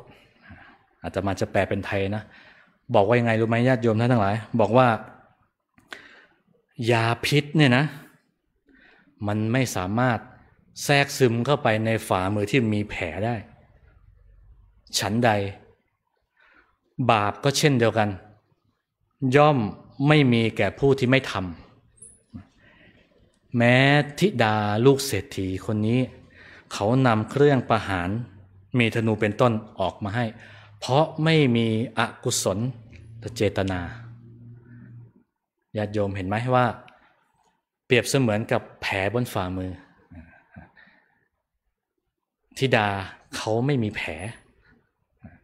อะไรก็แทรกซึมไม่ได้ยาพิษก็แทรกซึมไม่ได้ นี่พระพุทธเจ้าตัดเป็นคาถาในธรรมบทไว้ แล้วภิกษุเขาก็สงสัยกันอีกนะโยม ไม่จบ เอ๊ะทำไม ลูกเศรษฐี อยู่ดีๆ มีจิตปฏิพัทธ์ในผ่านแล้วเนื้อคนนี้ได้ทันทีเลยเขาเล่าในเรื่องอดีต ย้อนกลับไปในสมัย พระพุทธเจ้าองค์ก่อน ในกับนี้เขาเรียกกับเจริญพัทรกับ จะมีพระเจ้าเสด็จอุบัติขึ้นมาห้าพระองค์นะห้าพระองค์ ปัจจุบันพระสมณโคดม ชื่อพระนามพระพุทธเจ้าของเรานะ ใช่ไหมใช่นี่เป็นชื่อพระนามนะพระเจ้าของของเรา เป็นองค์ที่เท่าไหร่โยมกับนี้ต้องมาเสด็จอุบัติห้าพระองค์นะองค์นี้เป็นองค์ที่สี่ใช่ไหมเราอยู่ในยุคที่พระเจ้าองค์ที่สี่ใช่ไหมย้อนกลับไปในสมัยพระเจ้าองค์หนึ่งพระนามกัสปะ จริงพระเจ้ามีหลายพระองค์นะหลายพระนามนะไม่อยากจะลงลึกนะสมัยนั้นโยม ชาวบ้านเขาแข่งกันทำบุญ เขาสร้างเจดีย์เสร็จสับเรียบร้อยแล้วนะ ปกติธรรมเนียมแล้วเนี่ยเขาจะบรรจุภาษาบรีลิกธาตุด้วย สมัยนั้น พระพุทธเจ้าพระองค์นั้นเนี่ยนะปรินิพานไปแล้ว ก็เลย สร้างเจดีย์เสร็จแล้ว แต่ขาดการบรรจุ สมัยก่อนเขาก็เอาทรัพย์สินเงินทองแหละบรรจุเข้าไป ปรากฏว่าเขาก็ประชุมหารือกัน คนมีสตุ้งสตังเขาก็พากันมานะเอ๊ใครจะเป็นประธาน ในการสร้างหรือใส่ทรัพย์สินบรรจุเข้าไป เขาแบ่งกันเป็นสองฝ่ายแบบนี้โยมเขามีเศรษฐีในเมืองกรุง ประมาณว่าไฮโซจากกรุงเทพว่างั้น เศรษฐี อีกกลุ่มหนึ่งเศรษฐีบ้านนอกสองกลุ่มนี้สองกลุ่มนี้ก็มีเงินอยู่จำนวนหนึ่งนะโดยเศรษฐีในเมืองกรุงเนี่ยเปิดก่อนเลย เราจะบริจาคสิบล้าน เศรษฐีบ้านนอก เกทับโยมยี่สิบล้าน เศรษฐีเมืองกรุงไม่ยอมไปอีกโยมสามสิบล้าน เกทับกันไปกันมาโยมสี่สิบล้านห้าสิบล้านหกสิบเจ็ดสิบแปดสิบจนถึงเก้าสิบเศรษฐีบ้านนอกเนี่ย มีอยู่เก้าสิบล้าน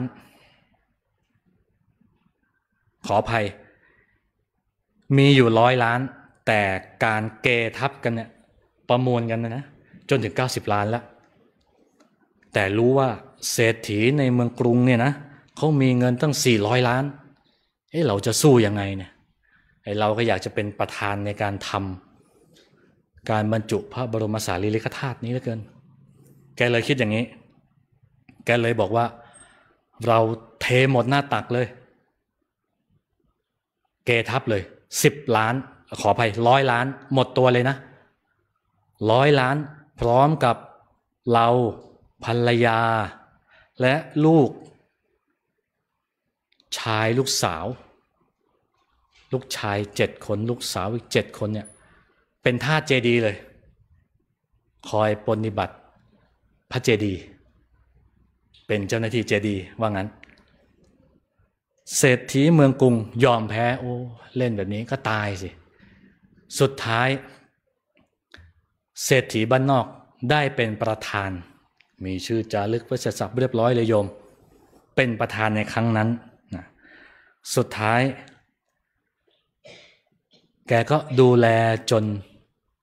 ตราบเท่าช่วอายุไขเลยนะ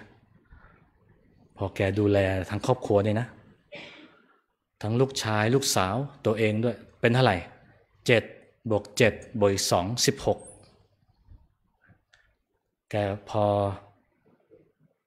สิ้นอายุไขในชาตินั้นแล้ว แกก็ไปบังเกิดในเทวโลก เป็นเวลาหนึ่งพุทธันดร จนมาชาติปัจจุบัน สมัยของพระพุทธเจ้าพระนามว่าสมณโคดม แกก็มาเกิดเป็น ธิดาก็มาเป็นลูกเศรษฐี ผู้ชายสามีก็เป็นผ่านล่าเนื้อเห็นไหมลูกชายลูกสาว ฝั่งละเจ็ดลูกชายก็มาเป็นลูกชายเหมือนเดิม ลูกสาวมาเป็นสะพ้ยสมกันไหมโยม อดีตบุรพกรรมที่เขาทำนิยม จนเป็นเหตุให้เขาได้บรรลุธรรม ทั้งครอบครัวเลย พิเศษไหม เพราะว่าอะไร อย่างนี้เขาเรียกบุญชนิดไหนโยมอธิการศัพท์นี้พิเศษนะ คือต้องทำแบบยิ่งยวด เหมือนอย่างที่เขาทำเนี่ยนะเขาทำแบบจิตเขานี่ เจตนาเขาสูงมากโยมทำจนหมดเนื้อหมดตัวเลยนะ แล้วจิตเขามีความศรัทธาในพระรัตนตรัยสูง นี่อันนี้เขาอยู่ในจังหวะช่วงเวลาที่เขามีด้วยนะ ใช่ไหมเขามีเขาเพียบพร้อม แล้วบวกกับเจตนาที่มแรงกล้า เป็นเหตุให้เขาได้บำเพ็ญครั้งนั้น ยิ่งยวด ชาติปัจจุบันก็ได้มีโอกาสบรรลุธรรม นิยม เป็นบุรพกรรมที่เขาทำเขาเรียกว่าอธิการนี้ แล้ว ถามว่ายังไม่ได้เฉลยเลยว่าทำไมเขาถึงเจอหน้าแล้วเขารักกันนะเขาเป็นผัวเมียกัน ก็เฉลยไปในทีแล้วพระเจ้าบอกว่าที่เขารักกันได้นั้น เพราะว่ายังไง ความรักนั้นนะเกิดด้วยเหตุสองอย่างโยม อดีต เขาเคยอยู่กินกันมา ปัจจุบันเขาเกื้อกูลกัน เปรียบเสมือนเหตุอย่างหนึ่ง คือว่าเหมือนดอกบัวเนี่ยนะดอกบัวเนี่ยถือว่าเป็นชื่อของราชนีแห่งน้ำนะเป็นพันไม้ชนิดหนึ่ง จะเบ่งบานออกมาได้เนี่ยต้องอาศัยเปลือกตมโคนตมและน้ำหล่อเลี้ยง ใช่ไหมเขาบอกเปรียบเสมือนฉันใดก็ฉันนั้นเหมือนกัน ความรักก็เหมือนบัวนี่แหละ เขาเจอกันอดีตที่เขาทำกันมา ด้วยกรรมเก่าที่ต้องมาเจอกัน ปัจจุบันเขาก็เกื้อกูลกัน อยู่กินกัน จนมีลูกถึงเจ็ดลูกได้ลูกสะใภ้อีกเจ็ดแล้วอยู่กินกัน อันนี้คือบุญที่เขาทำร่วมกันมา สรุปได้ว่าหนึ่งประเด็นหลักคืออธิการ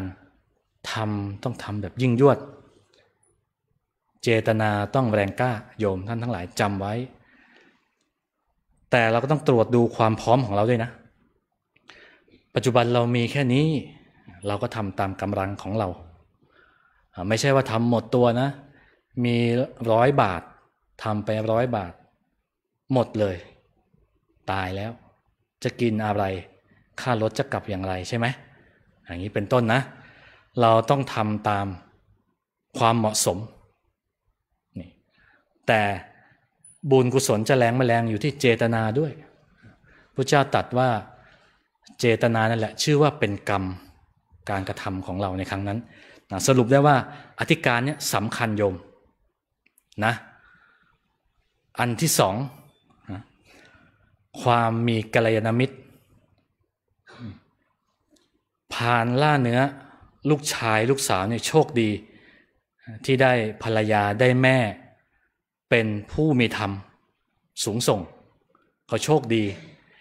ถ้าเขาไม่เจอไม่กินอยู่ร่วมกันแล้วนะ โยมคนที่เขาประกอบมิจฉาชีพเนี่ยโอกาสยากนะ ที่จะมีความศรัทธาในพระรัตนตรัย มีความเลื่อมใสกว่าจะปรับความเลื่อมใสได้นะศรัทธาได้นี่นะทานศีลภาวนาไม่ต้องพูดถึงศรัทธายังปรับไม่ได้เป็นอันยาก เพราะฉะนั้นการมีกัลยาณมิตรโชคดี และมิจฉาชีพก็สำคัญ เราท่านทั้งหลายนี่โชคดีแล้วนะที่ไม่ได้ประกอบ แบบนี้แต่มาเชื่อว่าส่วนมากจะประกอบสัมมาชีพกันอยู่แล้ว อันนี้เพราะว่ามิจฉาชีพก็เป็นอรู้กันดีว่า เป็นเหตุให้ การงดเว้น ทางกายวาจาและใจได้ยากนะคนเราจะบรรลุธรรมได้จะต้องงดเว้นเหล่านี้นะอธิการสรุปประเด็นสำคัญกัลยาณมิตร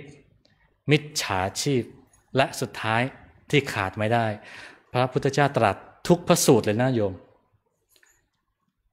ทุกธรรมขันจะต้องมีอัปปมาทธรรมประกอบ คือความไม่ประมาท บทสรุปของเรื่องเทธรรมภาพนำมาวันนี้ ประเด็นสำคัญสุดท้ายคือความไม่ประมาทด้วยนะเรารู้ผิดชอบชั่วดี มนุษย์นี่เป็นบุคคลที่มีใจกล้าแก่ง แปลตามศัพท์นะ หรือใจสูงแปลตามศัพท์อย่างนั้น มีใจกล้าแก่ง รู้อันไหนที่เป็นประโยชน์และไม่เป็นประโยชน์ รู้อันไหนที่มีโทษและไม่มีโทษ มนุษย์เรานะเนี่ยพอเรารู้แบบนี้แล้ว มีโอกาสเข้าวัดเข้าว่าฟังธรรม มีครูบาอาจารย์ที่ดี ได้เพื่อนกัลยาณมิตรที่ดี นี่ตั้งอยู่ไม่ความประมาทแล้ว ฉไหนเลยจะเป็นผู้กับไปประมาทอีกเล่าใช่ไหม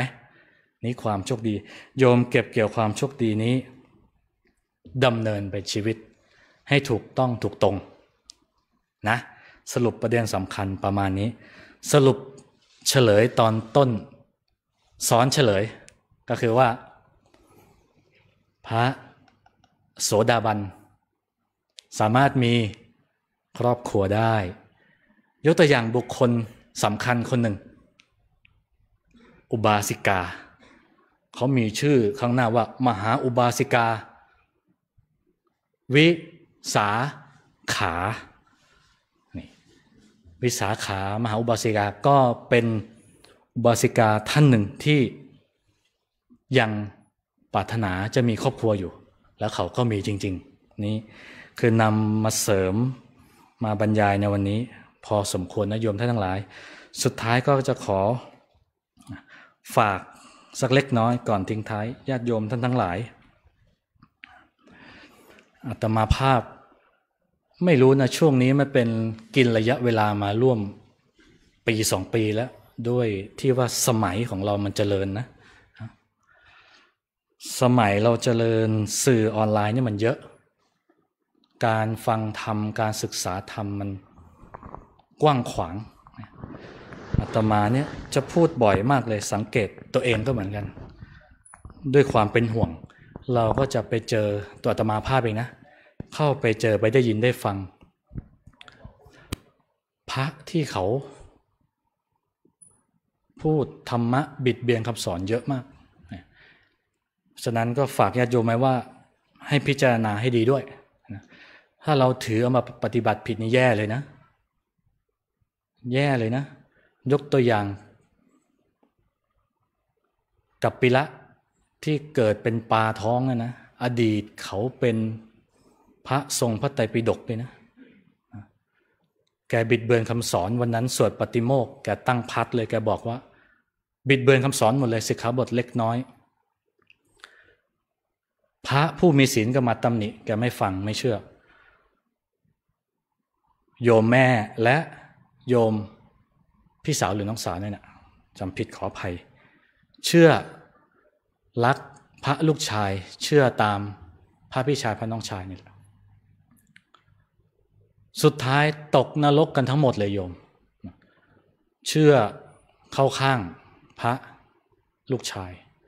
ก็ไปไล่ด่าว่าพระลูกฉันถูกเสมอ เหมือนกันโยม หากเราไปเข้ารีดหรือไปศึกษาแบบนั้น พอเราเจอคนสอนผิดเราแย้งเขาเขามีการถกเถียงกัน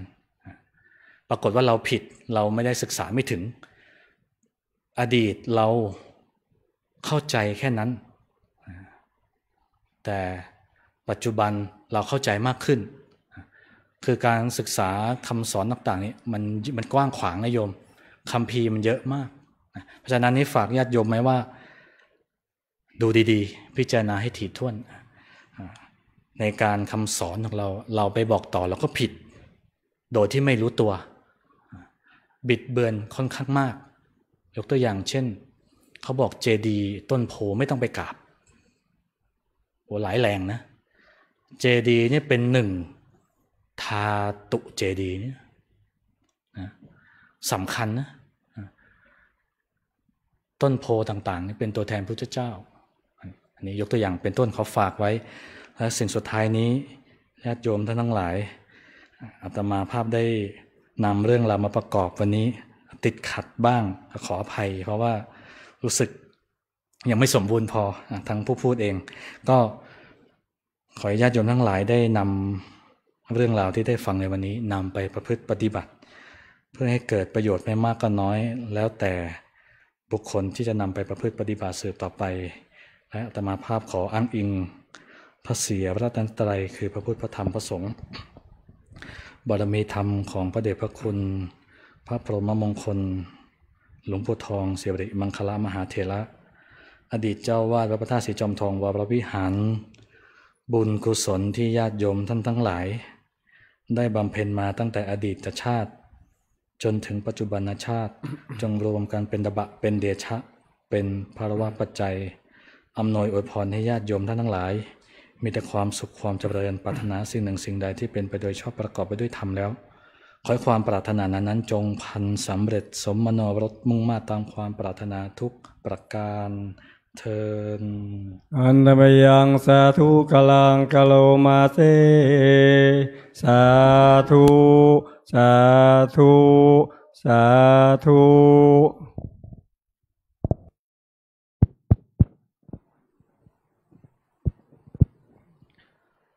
ก็ในนามพระภิกษุสามเณรอุบาสกบาสิกาแม่ชี ผู้ปฏิบัติธรรมญาติโยมก็ขออนุโมทนา ขอบคุณท่านพระมหากิติพงศ์ธนกโรด้วยนะที่ให้ธรรมะเป็นทาน เพราะว่าการให้ธรรมะเป็นทานนี่ท่านบอกว่าอนักขานี้คือประเมินค่าไม่ได้ คือตีเป็นมูลค่าไม่ได้ญาติโยม บางทีคนเราเนี้ยพอประสบทุกข์หรือปัญหาใด ๆ ก็ตามหรือมองไม่เห็นทางที่สว่าง แต่พอเขาได้ยินธรรมะ อะไรต่างๆ เหล่านี้เกิดแสงสว่างขึ้นมา นี่เรียกว่า ธรรมะนี้ก็เป็นหลักการที่สำคัญ เพราะว่า ทางนี้ทางนั้นต้องเป็นธรรมะที่เกิดจากการศึกษาหนึ่งนะ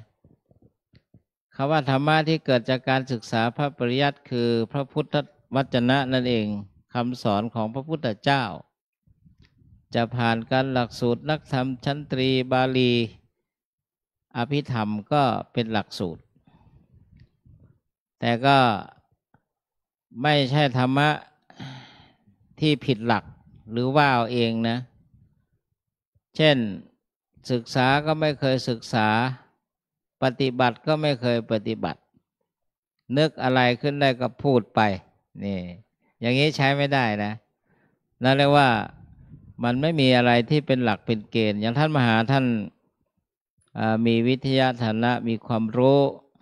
ก็เป็นการถ่ายทอดให้ญาติโยมฟัง ทีนี้ อริยบุคคลเนี้ยพระโสดาบันตั้งแต่พระโสดาบันขึ้นไปเป็นพระอริยบุคคล เป็นพระสาวกนะโยมนะเหมือนที่ท่านมหาเล่าเนี่ย ลูกของเศรษฐีไปหลงรักในพรานเนี่ยสุดท้ายเป็นครอบครัวคือเป็นพระโสดาบันตั้งนานแล้วทำไมยังมีครอบครัวก็มีได้ เพราะพระโสดาบันเนี่ย ยังมีโลภะโทสะโมหะ แต่ว่ามันเบาบางมาก ไม่มีผล ก็ยังมีราคะโทสะโมหะ ก็มีแต่ไม่มีผล คือไม่มีพิษสงที่จะไปก่อโทษให้ใครนะมหาวิสาขาอุบาสิกาก็เป็นอรหันต์ตั้งแต่เจ็ดขวบ ขอโทษ เป็นพระโสดาบันนั่นแหละจะพูดว่าโสดาบันนั่นแหละ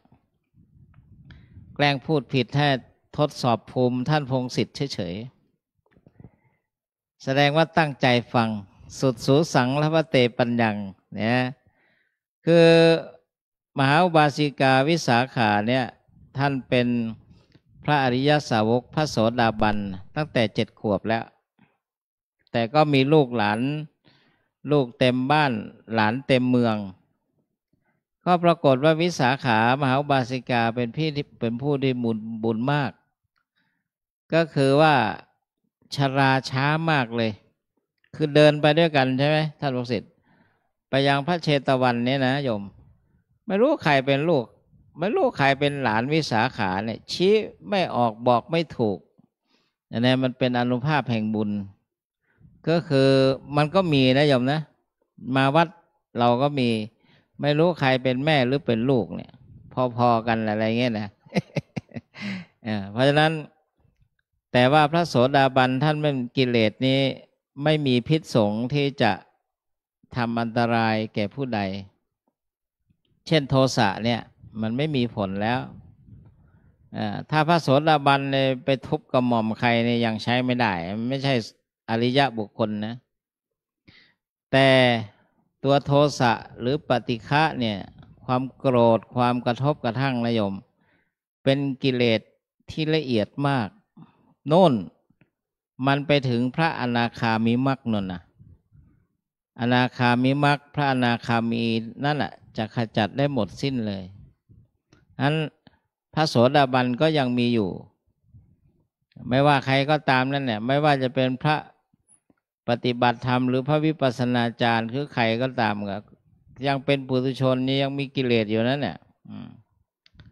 บางทีไปสอบอารมณ์ผู้อื่นเนี่ยโดนผู้อื่นสอบอารมณ์นี่ก็ เอามากันนั่นแหละเช่นสอบกันไปสอบกันมาเนี่ยเดี๋ยวตุลุงศรีท่านจะอันนี้ไปอีกเห็นครั้งก่อนนู้นน่ะท่านบนที่ศาลาแห่งนี้อ่มีอ่าอะไรต่าง ๆ เหล่านี้เรียกว่ามันผูกพันอะไรเงี้ยท่านก็คงดำเนินการของท่านไปแล้ว เพราะวันนั้นอาตมาขออนุญาตเบรกท่านนิดหนึ่ง ท่านเจ้าวาดมอบหมายตุลุงพระศรีดำเนินการไปแล้ว เรียกว่าดิสเบรกนิดหน่อย แตะเบรก เพราะว่าคนอื่นนี่ก็ไม่เห็นมีใครเบรกได้อะมีองค์นี้เนี่ยที่มีหนวดเนี่ยก็เบรกได้โดยทำนิดหน่อยนะ แต่ท่านไม่ถือโทษอาตมาหรอก อยู่ด้วยกันมานานเนี่ยยี่สิบแปดปี เกือบสามสิบปีแล้ว เพราะฉะนั้นญาติโยมสาธุชนได้ฟังธรรมะแล้ว เรียกว่าได้ปัญญา ปัญญาเกิดสามทางหนึ่งสุตตามยปัญญาที่เกิดจากการฟังการศึกษาเล่าเรียนนะแต่ต้องเป็นธรรมะที่ถูกต้องอที่ท่านมหาพูดนี่ก็ผมก็ไปเห็นแล้วที่ออกสื่อนั่นน่ะไปกราบทำไมพระจีดงจีดีนู่นนี่นั่น เราก็อย่าไปสุดโต่งสิหรือต้นโพอะไรอย่างเงี้ยนะต้นโพที่มันขึ้นบนพระเจดีย์เราต้องเลือก เช่นเจดีย์จอมทองเราบูรณะเนี่ยมันมีหน่อต้นโพขึ้นข้างบนเนี่ย เราจะเอาต้นโพหรือเอาพระเจดีย์คำตอบก็คือเราจะเอาพระเจดีย์เพราะเราบูรณะเราก็ถอนได้ ไม่ใช่ถอนไม่ได้นะอ่าก็ถอนได้ เพราะกำลังบูรณะ ถ้าเราไม่ถอน มันจะทำให้ทองจังโกเลยมันอ้า แล้วมันแบะมันพังทลายได้ หรือต้นโพที่มันขึ้นในผิดที่ เช่นตามห้องน้ำห้องท่าอย่างเงี้ย เราก็ถอนได้นะเมื่อก่อนเนี่ย ถามตุลุงเป็นสักขีพยานที่สำนักข้างในผู้หญิงเนี่ยที่ปฏิบัติ โยมเขามีโยมไปปลูกต้นโพเยอะเลยนะ เป็นยี่สิบต้นนะนะโยม มันต้นเท่าแขนเนี่ย ข้างห้องปฏิบัติเนี่ย อาตมาเนี่ยก็ต้อง อืม จัดการอะ่ะ จัดการเสกคือถอนน่ะ ถอน เขาก็ไปฟ้องหลวงปู่ บอกมหาออดเนี่ยไปถอนต้นโพเราก็กลับเรียนปู่บอกปู่ครับ ต้นโพก็สำคัญถ้ามันขึ้นถูกที่ แต่ขึ้นตรงนี้วันหน้าจะเป็นอันตรายแก่อาคารเก้ากับผมขออนุญาตถอน แล้วเก้าก็จะไปปลูกที่สำนักอื่น เช่นทุ่งเซี่ยว ตมาก็ไปให้กระทุ่งเซี่ยวไปสักต้นสองต้น นอกนั้นก็จัดการไปหมด ไม่ผิดสัจจะด้วยนะถอนนะถอนจริงๆนะต้นเท่าแขนเนี่ยไม่งั้นต้นโพทั้งนั้นนะโยมแล้วก็ก็เป็นลักษณะอย่างนี้เรียกว่าทำให้ถูกที่ถูกทางปฏิบัติให้ถูกที่ถูกทางอย่างเงี้ยให้ความให้เหมาะสม แต่บางคนนี่สุดต่งไม่ให้ไหวต้นโพอย่างเงี้ย หรืออย่างนั้นก็ใช้ไม่ได้ก็เกินไปนะทุกอย่างต้องดำเนินตามทางสายกลาง คือมัชชิมาปฏิปทานะโยมนะทางสายกลาง ไม่หย่อนยานเกินไปไม่ตึงเกินไป พระที่บอกไม่ให้กับต้นโพเจดีนะก็ก็ดูเหมือนจะแต่งตัวรุ่มร่ามนะไม่ค่อยจะสำรวมระมัดระวังสักเท่าไหร่เนี่ย เป็นตัวอย่างที่ไม่ค่อยดีนัก แล้วก็ดูเหมือนก็จะไม่ได้รู้อะไรมากมายนัก รู้ก็งูงูปลาปลา fish fish snake snake fish fish เนี่ยเนี่ยมันก็ใช้ไม่ได้ เราอย่าไปรู้กระท่อนกระแท่น แล้วอวดตัวเป็นผู้รู้ไม่ได้ ต้องศึกษาจบถ้วนกระบวนความจบถ้วนกระบวนความ แล้วไปอัตโนมัติ แต่ญาติโยมนี่ก็แปลกบางทีเขาก็ชอบทำบุญ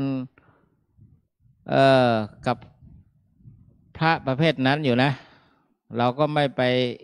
ว่าเขาหรอกนะเออคือพระนี่ประพฤติดีปฏิบัติชอบก็เยอะอยู่ พระบ้องบ้องบวมบวมก็แยะนะ โยมเขาก็ไปทำบุญกับพระที่บวมบวมบ้องบ้องจะร้อยก็ไม่ร้อย ไม่แปดสิบก็ร้อยยี่สิบมันข้ามไปนั้นก็มีเยอะเด็กอันนี้ไม่ได้ว่าใครนะเอ่ ในฐานะที่เราผู้ติดตามสื่อเราก็เห็นหนอได้ยินหนอเนี่ยญาติโยมเพราะนั้น วัดพระธาตุสีจอมทองอย่างนี้ เราต้องทำอะไรด้วยปัญญาหนึ่งสุตตามยปัญญาที่เกิดจากการฝึกฟังศึกษาแล้วเรียนสองจินตามยปัญญาปัญญาที่เกิดจากไตรตรองตามเหตุและผลนะบางคนนี่สุดโต่งนะ พระเนี่รับเงินรับทองนะเป็นอาบัติโน่นนี่นั่นนะสุดโต่งไป มันเป็นความสุดโต่งเงินถ้ารับถ้าเงินจริง ๆ รับเพื่อตัวเนี่ยไม่ได้ ทองรับเพื่อตัวก็ไม่ได้ แต่รับเพื่อสงฆ์ได้ เช่น บุรณะพระเจดีย์พระวิหารนี้ได้นะ ทองเนี่ยถวายส่วนตัวไม่ได้ แต่ที่เราถือกันเนี่ยมันเป็นเพียงกระดาษหรือธนบัตร เป็นตัวแทนแห่งเงินและทองแค่นั้น ก็เวลาไปซื้อของไปบิณฑบาตทที่เซเว่นนิยม ลองเนี่ยนะเข้าไปในอัตมาขอบิณฑบาตเขาก็จะตะเพิดพระออกไปเลยมันไม่ใช่เรื่องเลยมันก็ใช้ได้ตามความเหมาะสม นั่งรถไปเนี่ย เขาเก็บยี่สิบเราให้ห้าสิบบาทได้ยิ้มเลย ก็ลองให้สักสิบบาทหรือสิบห้าเนี่ยหน้านิ้วคิ้วขมวดคมคูพระอีกต่างหากก็มีเหมือนกันนะ เหมือนกัน นั่งเครื่องบินก็พาหนะอะไรต่างๆ ก็จำเป็นใช้เกิดประโยชน์ ไม่ได้มีเพื่อสะสมนะใช้ประโยชน์ บางคนที่สุดตรง ไม่ให้รับเฉลย การพระศาสนาก็จะดำเนินไปได้ยังไงนะเราต้องเดินสายกลาง ภาวนามยปัญญาปัญญาที่เกิดจากการเจริญวิปัสสนากรรมฐานสมถกรรมฐานนะญาติโยม อันนี้ต้องเป็น ปัญญาที่บริสุทธิ์ล้วนๆเลย เขาไม่ให้อ่านหนังสือในขณะที่ปฏิบัติเนี่ยเพราะว่า เช่นปฏิบัติวิปัสสนาเนี่ยกลัวจะเป็นวิปัสสนึก เพราะจิตมันปรุงแต่งมันหลอกเราได้วางฟอร์มเป็นผู้หมดกิเลสสักหน่อยสมมติอ่านหนังสืออย่างงุ้นอย่างงุ้นอย่างนั้นท่านไม่ให้อ่านเพราะว่า ปรุงแต่งจิตเรากิเลส มันซ้อนกิเลสไม่งั้นจะมีวิปัสสนูไปกิเลสหรือโยม คือมันกิเลสมันเบาบางมากแทบจะไม่มีเลยอ่านั่นกิเลสซ้อนกิเลส เพราะนั้นการเจริญวิปัสสนาแล้วก็เพื่อมันก็เป็นภาวนามยปัญญา ปัญญาที่เกิดจากการเจริญภาวนาจริง ๆ ไม่ได้ไปนึกอะการอ่านการฟังอะไรต้อเป็นปริยัติทั้งสิ้นเลย แม้แต่พองหนอยุบหนอ ขวาย่างหนอซ้ายย่างหนอในขณะที่เราฟังเนี่ยยังเป็นปริยัตินะโยม ต่อเมื่อไหร่โยมลงมือปฏิบัติ ยกหนอเหยียบหนอ พองหนอยุบหนอจริงๆนั่นคือปฏิบัติเกิดขึ้นนะฟังพระพูดเนี่ยเป็นเพียงปริยัติ ต่อเมื่อใดลงมือปฏิบัติจึงจะเป็นปฏิบัติแท้จริง เป็นวิปัสสนาจริง ๆ ไม่ใช่เป็นวิปัสสนึกนะ วิปัสสนึกคือนึกเอาเองไงนะไม่ตรงสภาวะเป็นจริงก็ขออนุโมทนากับท่านมหาโดยประเคนกันเทศหรือยัง อย่าเพิ่งง่วงไปไหนเราอยู่ด้วยกันแน่นายโยพิเชษเข้ามาประเคนท่านมาฐานะกโรภิกขุไปเรียนทำเก้าประโยค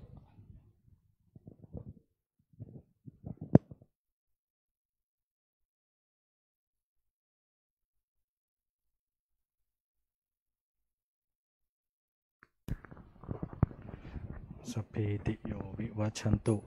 สัพพโรโควินัสตุ มาเตภวัตวันตรายโย สุขีทีขายุโกภวะ อภิวาทนสีลิสะ นิจังวุธาปจายโน จัตตารโรธรรมาวัฒนติ อายุวันโนสุขังพระลัง สาธุ สาธุ สาธุ ให้พรน้ำปนะเลยเนาะ สัพพะโรคาเวเนโมตสัพพสัตตาภวะสิตสัพพเวตเนปุตจตุวังภวะสัพพิติโยเววัชชตุสัพพะโร เวนัสตมาเตภวัตตรายโยสุเขขายโกภวะพิวัตนาเสเลสเนจังเยโนจัตตารธรรมวัฏันติอายุวันโนสุขัง พลัง สาธุ สาธุ สาธุญาติโยมทุกท่านถือ เครื่องสักการะไว้ในมือ นิมนต์ท่านพงศิษฐ์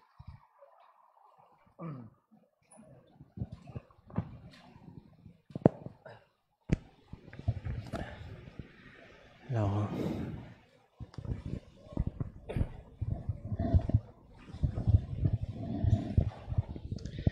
เราได้น้อมกล่าวคำสักการะบูชา พระบรมธาตุน้อมระลึกถึงพระพุทธคุณ พระธรรมคุณ พระสังฆคุณด้วยความเคารพนะครับ เป็นอนุตตริยธรรมในอนุตตริยสูตรยะมัมหะโขยะมัมหะโข มะยังมะยังภะคะวันตังภะคะวันตังสระนังคตาสารนังคาตา เราเป็นผู้ถึง เราเป็นผู้ถึง ซึ่งพระผู้มีพระภาคเจ้า ซึ่งพระผู้มีพระภาคเจ้า พระองค์ใด พระองค์ใด ว่าเป็นสรณะ ว่าเป็นสารณะ โยโนภควาสัทธา โยโนภควาสถาพระผู้มีพระภาคเจ้าพระผู้มีพระภาคเจ้า พระองค์ใด พระองค์ใด เป็นศาสดาของเรา เป็นศาสดาของเรายสจะมะยังยาสจามะยังภควะโตธรรมังภควะโตธรรมัง โรเจมะ โรเจมะ และเราชอบใจ และเราชอบใจ ธรรมของพระผู้มีพระภาคเจ้า ธรรมของพระผู้มีพระภาคเจ้า พระองค์ใด พระองค์ใด อิเมหิอิเมหิสักการเรหิสการเรหิตังภควันตังตังภควันตังสะธรรมังสะธรรมังสะสังคังสะสังคังอภิปูชยามะอาภิปูชยามะ เราตั้งใจบูชา เราตั้งใจบูชา พระผู้มีพระภาคเจ้า พระผู้มีพระภาคเจ้า พระองค์นั้น พระองค์นั้นพร้อมทั้งพระธรรมพร้อมทางพระธรรม พร้อมทั้งพระสงฆ์พร้อมทางพระสงฆ์ด้วยเครื่องสักการะ ด้วยเครื่องสักการะ ทั้งหลายเหล่านี้ ทั้งหลายเหล่านี้ อิมินาสการินาตังพุทธังอภิปูชยามะอิมินาสการินาตังธรรมังอภิปูชยามะ อิมินาสการินาตังสังฆังอภิปูชยามะอะระหังสัมมาสัมพุทโธภะคะวาพุทธังภะคะวันตังอภิวาเทมิสวากขาโตภะคะวะตาธัมโม ธัมมังนะมัสสามิสุปฏิปันโนภะคะวะโตสาวกสังโฆสังฆังนะมามิ หันธรรมยังพุทธัสสะภะควะโตปุพพาคณมการังกะโรมะเซนะโมตัสสะภะคะวะโตอะระหะโตสัมมาสัมพุทธัสสะนะโมตัสสะภะคะวะโตอะระหะโตสัมมาสัมพุทธัสสะ นะโมตัสสะภะคะวะโต อะระหะโต สัมมาสัมพุทธัสสะหันธรรมยังพุทธานุสตินะยังกะโรมะเซอิติปิโสภะคะวะอะระหังสัมมาสัมพุทโธ จารณะสัมปันโนสุขโตโลกาวิโทอนุตตโรปุริสธรรมมสารทิสัตทาเทวมนุษย์สานังพุทโธภะควาติกายนวาจายวเจตสวา พุทเทกุกรรมังปะกะตังไมยายัง พุทโธปฏิคันหตัวใจหันตัง กาลันตาเรสังวาริตุงวะพุทเทหันธรรมยังธรรมานุสตินยังกะโรมะเสสวาคาโตภะคะวะตาธรรมโม สันทิทิโกอากาลิโก เอหิปัสสิโก โอปนายิโกปัจจตังเวทิตาโพวินโยหิติ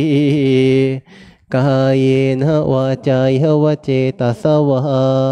ธรรมเมกุกรรมังปะกะตังไมยายังธรรมโมปฏิคันหตัวใจหันตัง กาลันตาเรสังวาริตุงวะธรรมเมหันธรรมยังสังขานุสตินะยังกะโรมะเสสุปฏิปันโนภะคะวะโต สา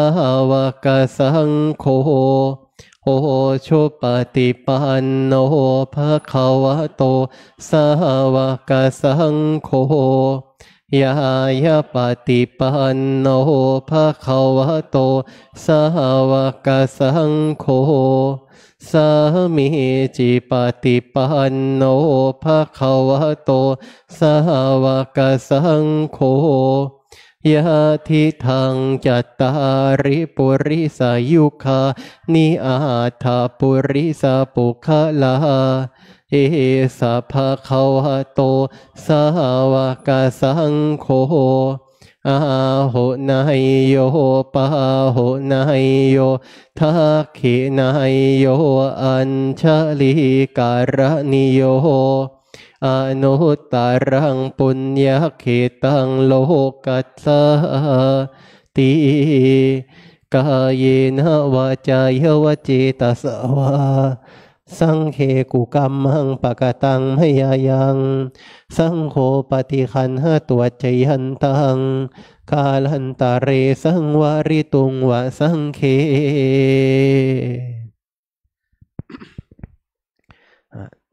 ต่อไปเราจะได้ปฏิบัติบูชาด้วยการกราบสติปัฏฐาน และนั่งสมาธิร่วมกันสืบไปนะครับ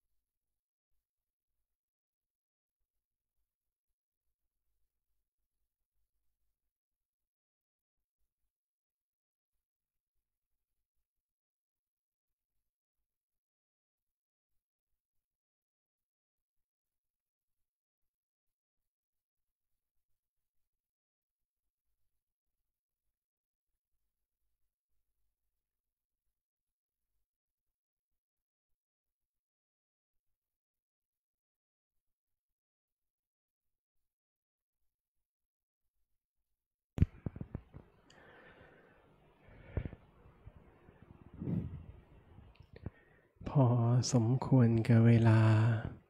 ค่อยๆคลายจิตออกจากสมาธิ เปิดหนังสือไปหน้าที่ 8คำแผ่เมตตากรวดน้ำแบบพื้นเมืองนะครับ อิตังทานากรรมังนิพพานาปัจจายโยโหตุโลเนจังเอตังศีลกรรมังนิพพานาปัจจายโยโหตุโลเนจังเอตังภาวนากรรมังนิพพานาปัจจายโยโหตุโลเนจังยังกินเจโกสลกตาพังกัมมังสัพเพกาเตหิกาตังปุญญังโนอนุโมทันโตโสนันโตปุนโตเยเทวะอัสสมิงทานเนอาทิคาตาทิคายุกาสัทธาหนโตสัพพสัตตานังสุเกอัตตานังปาริหารันตุมาตาเวตาสุขิตาโตตคาปะโมจันโตสัพเพยติกาสุขิตาหนโตตคาปะโมจันโตสัพเพยติกาสุขิตาหนโตโทกาปะโมจันโตสัพเพปิสาสัพเพ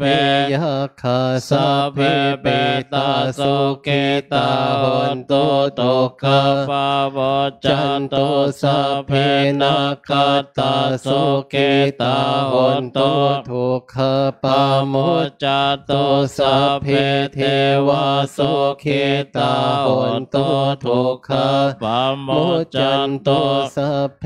อาจาริโยปัจชายาสุขิตาหนโตทุกขปาโมจันโตสัพพสัมปตินาสมิจฉันตุโวันทา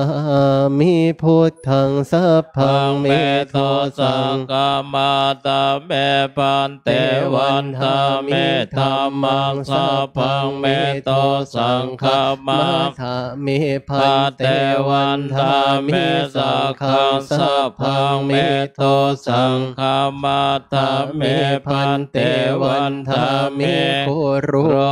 ปัจจาจาริเยสัพพังเมโตสังฆมาธามิพันเตวันธามิกัมมาทานาสัพพังเมโตสังฆมาธามิพันเตวันธามิเจต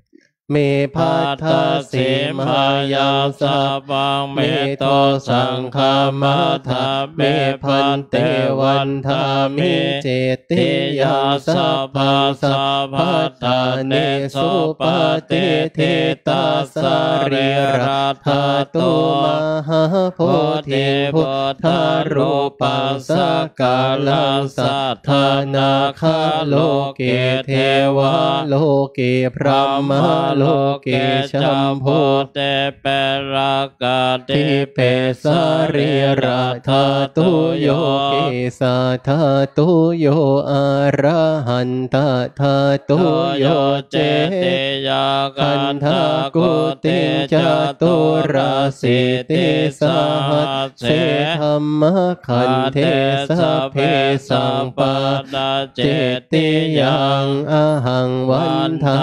มิสัพพโสกราบกราบกราบ ได้น้อมมันทาน้อยน้อมกราบลารูปเคารพพระเดชพระคุณหลวงปู่โดยความพร้อมเพียงกัน วันทามิปันเตสัพพังหาปาราทังคามาตาเมพันเต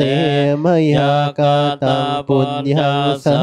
มินาอนุโมทิตพังสามินากาตังปุญญังไมหังทัตพังสาธุ สา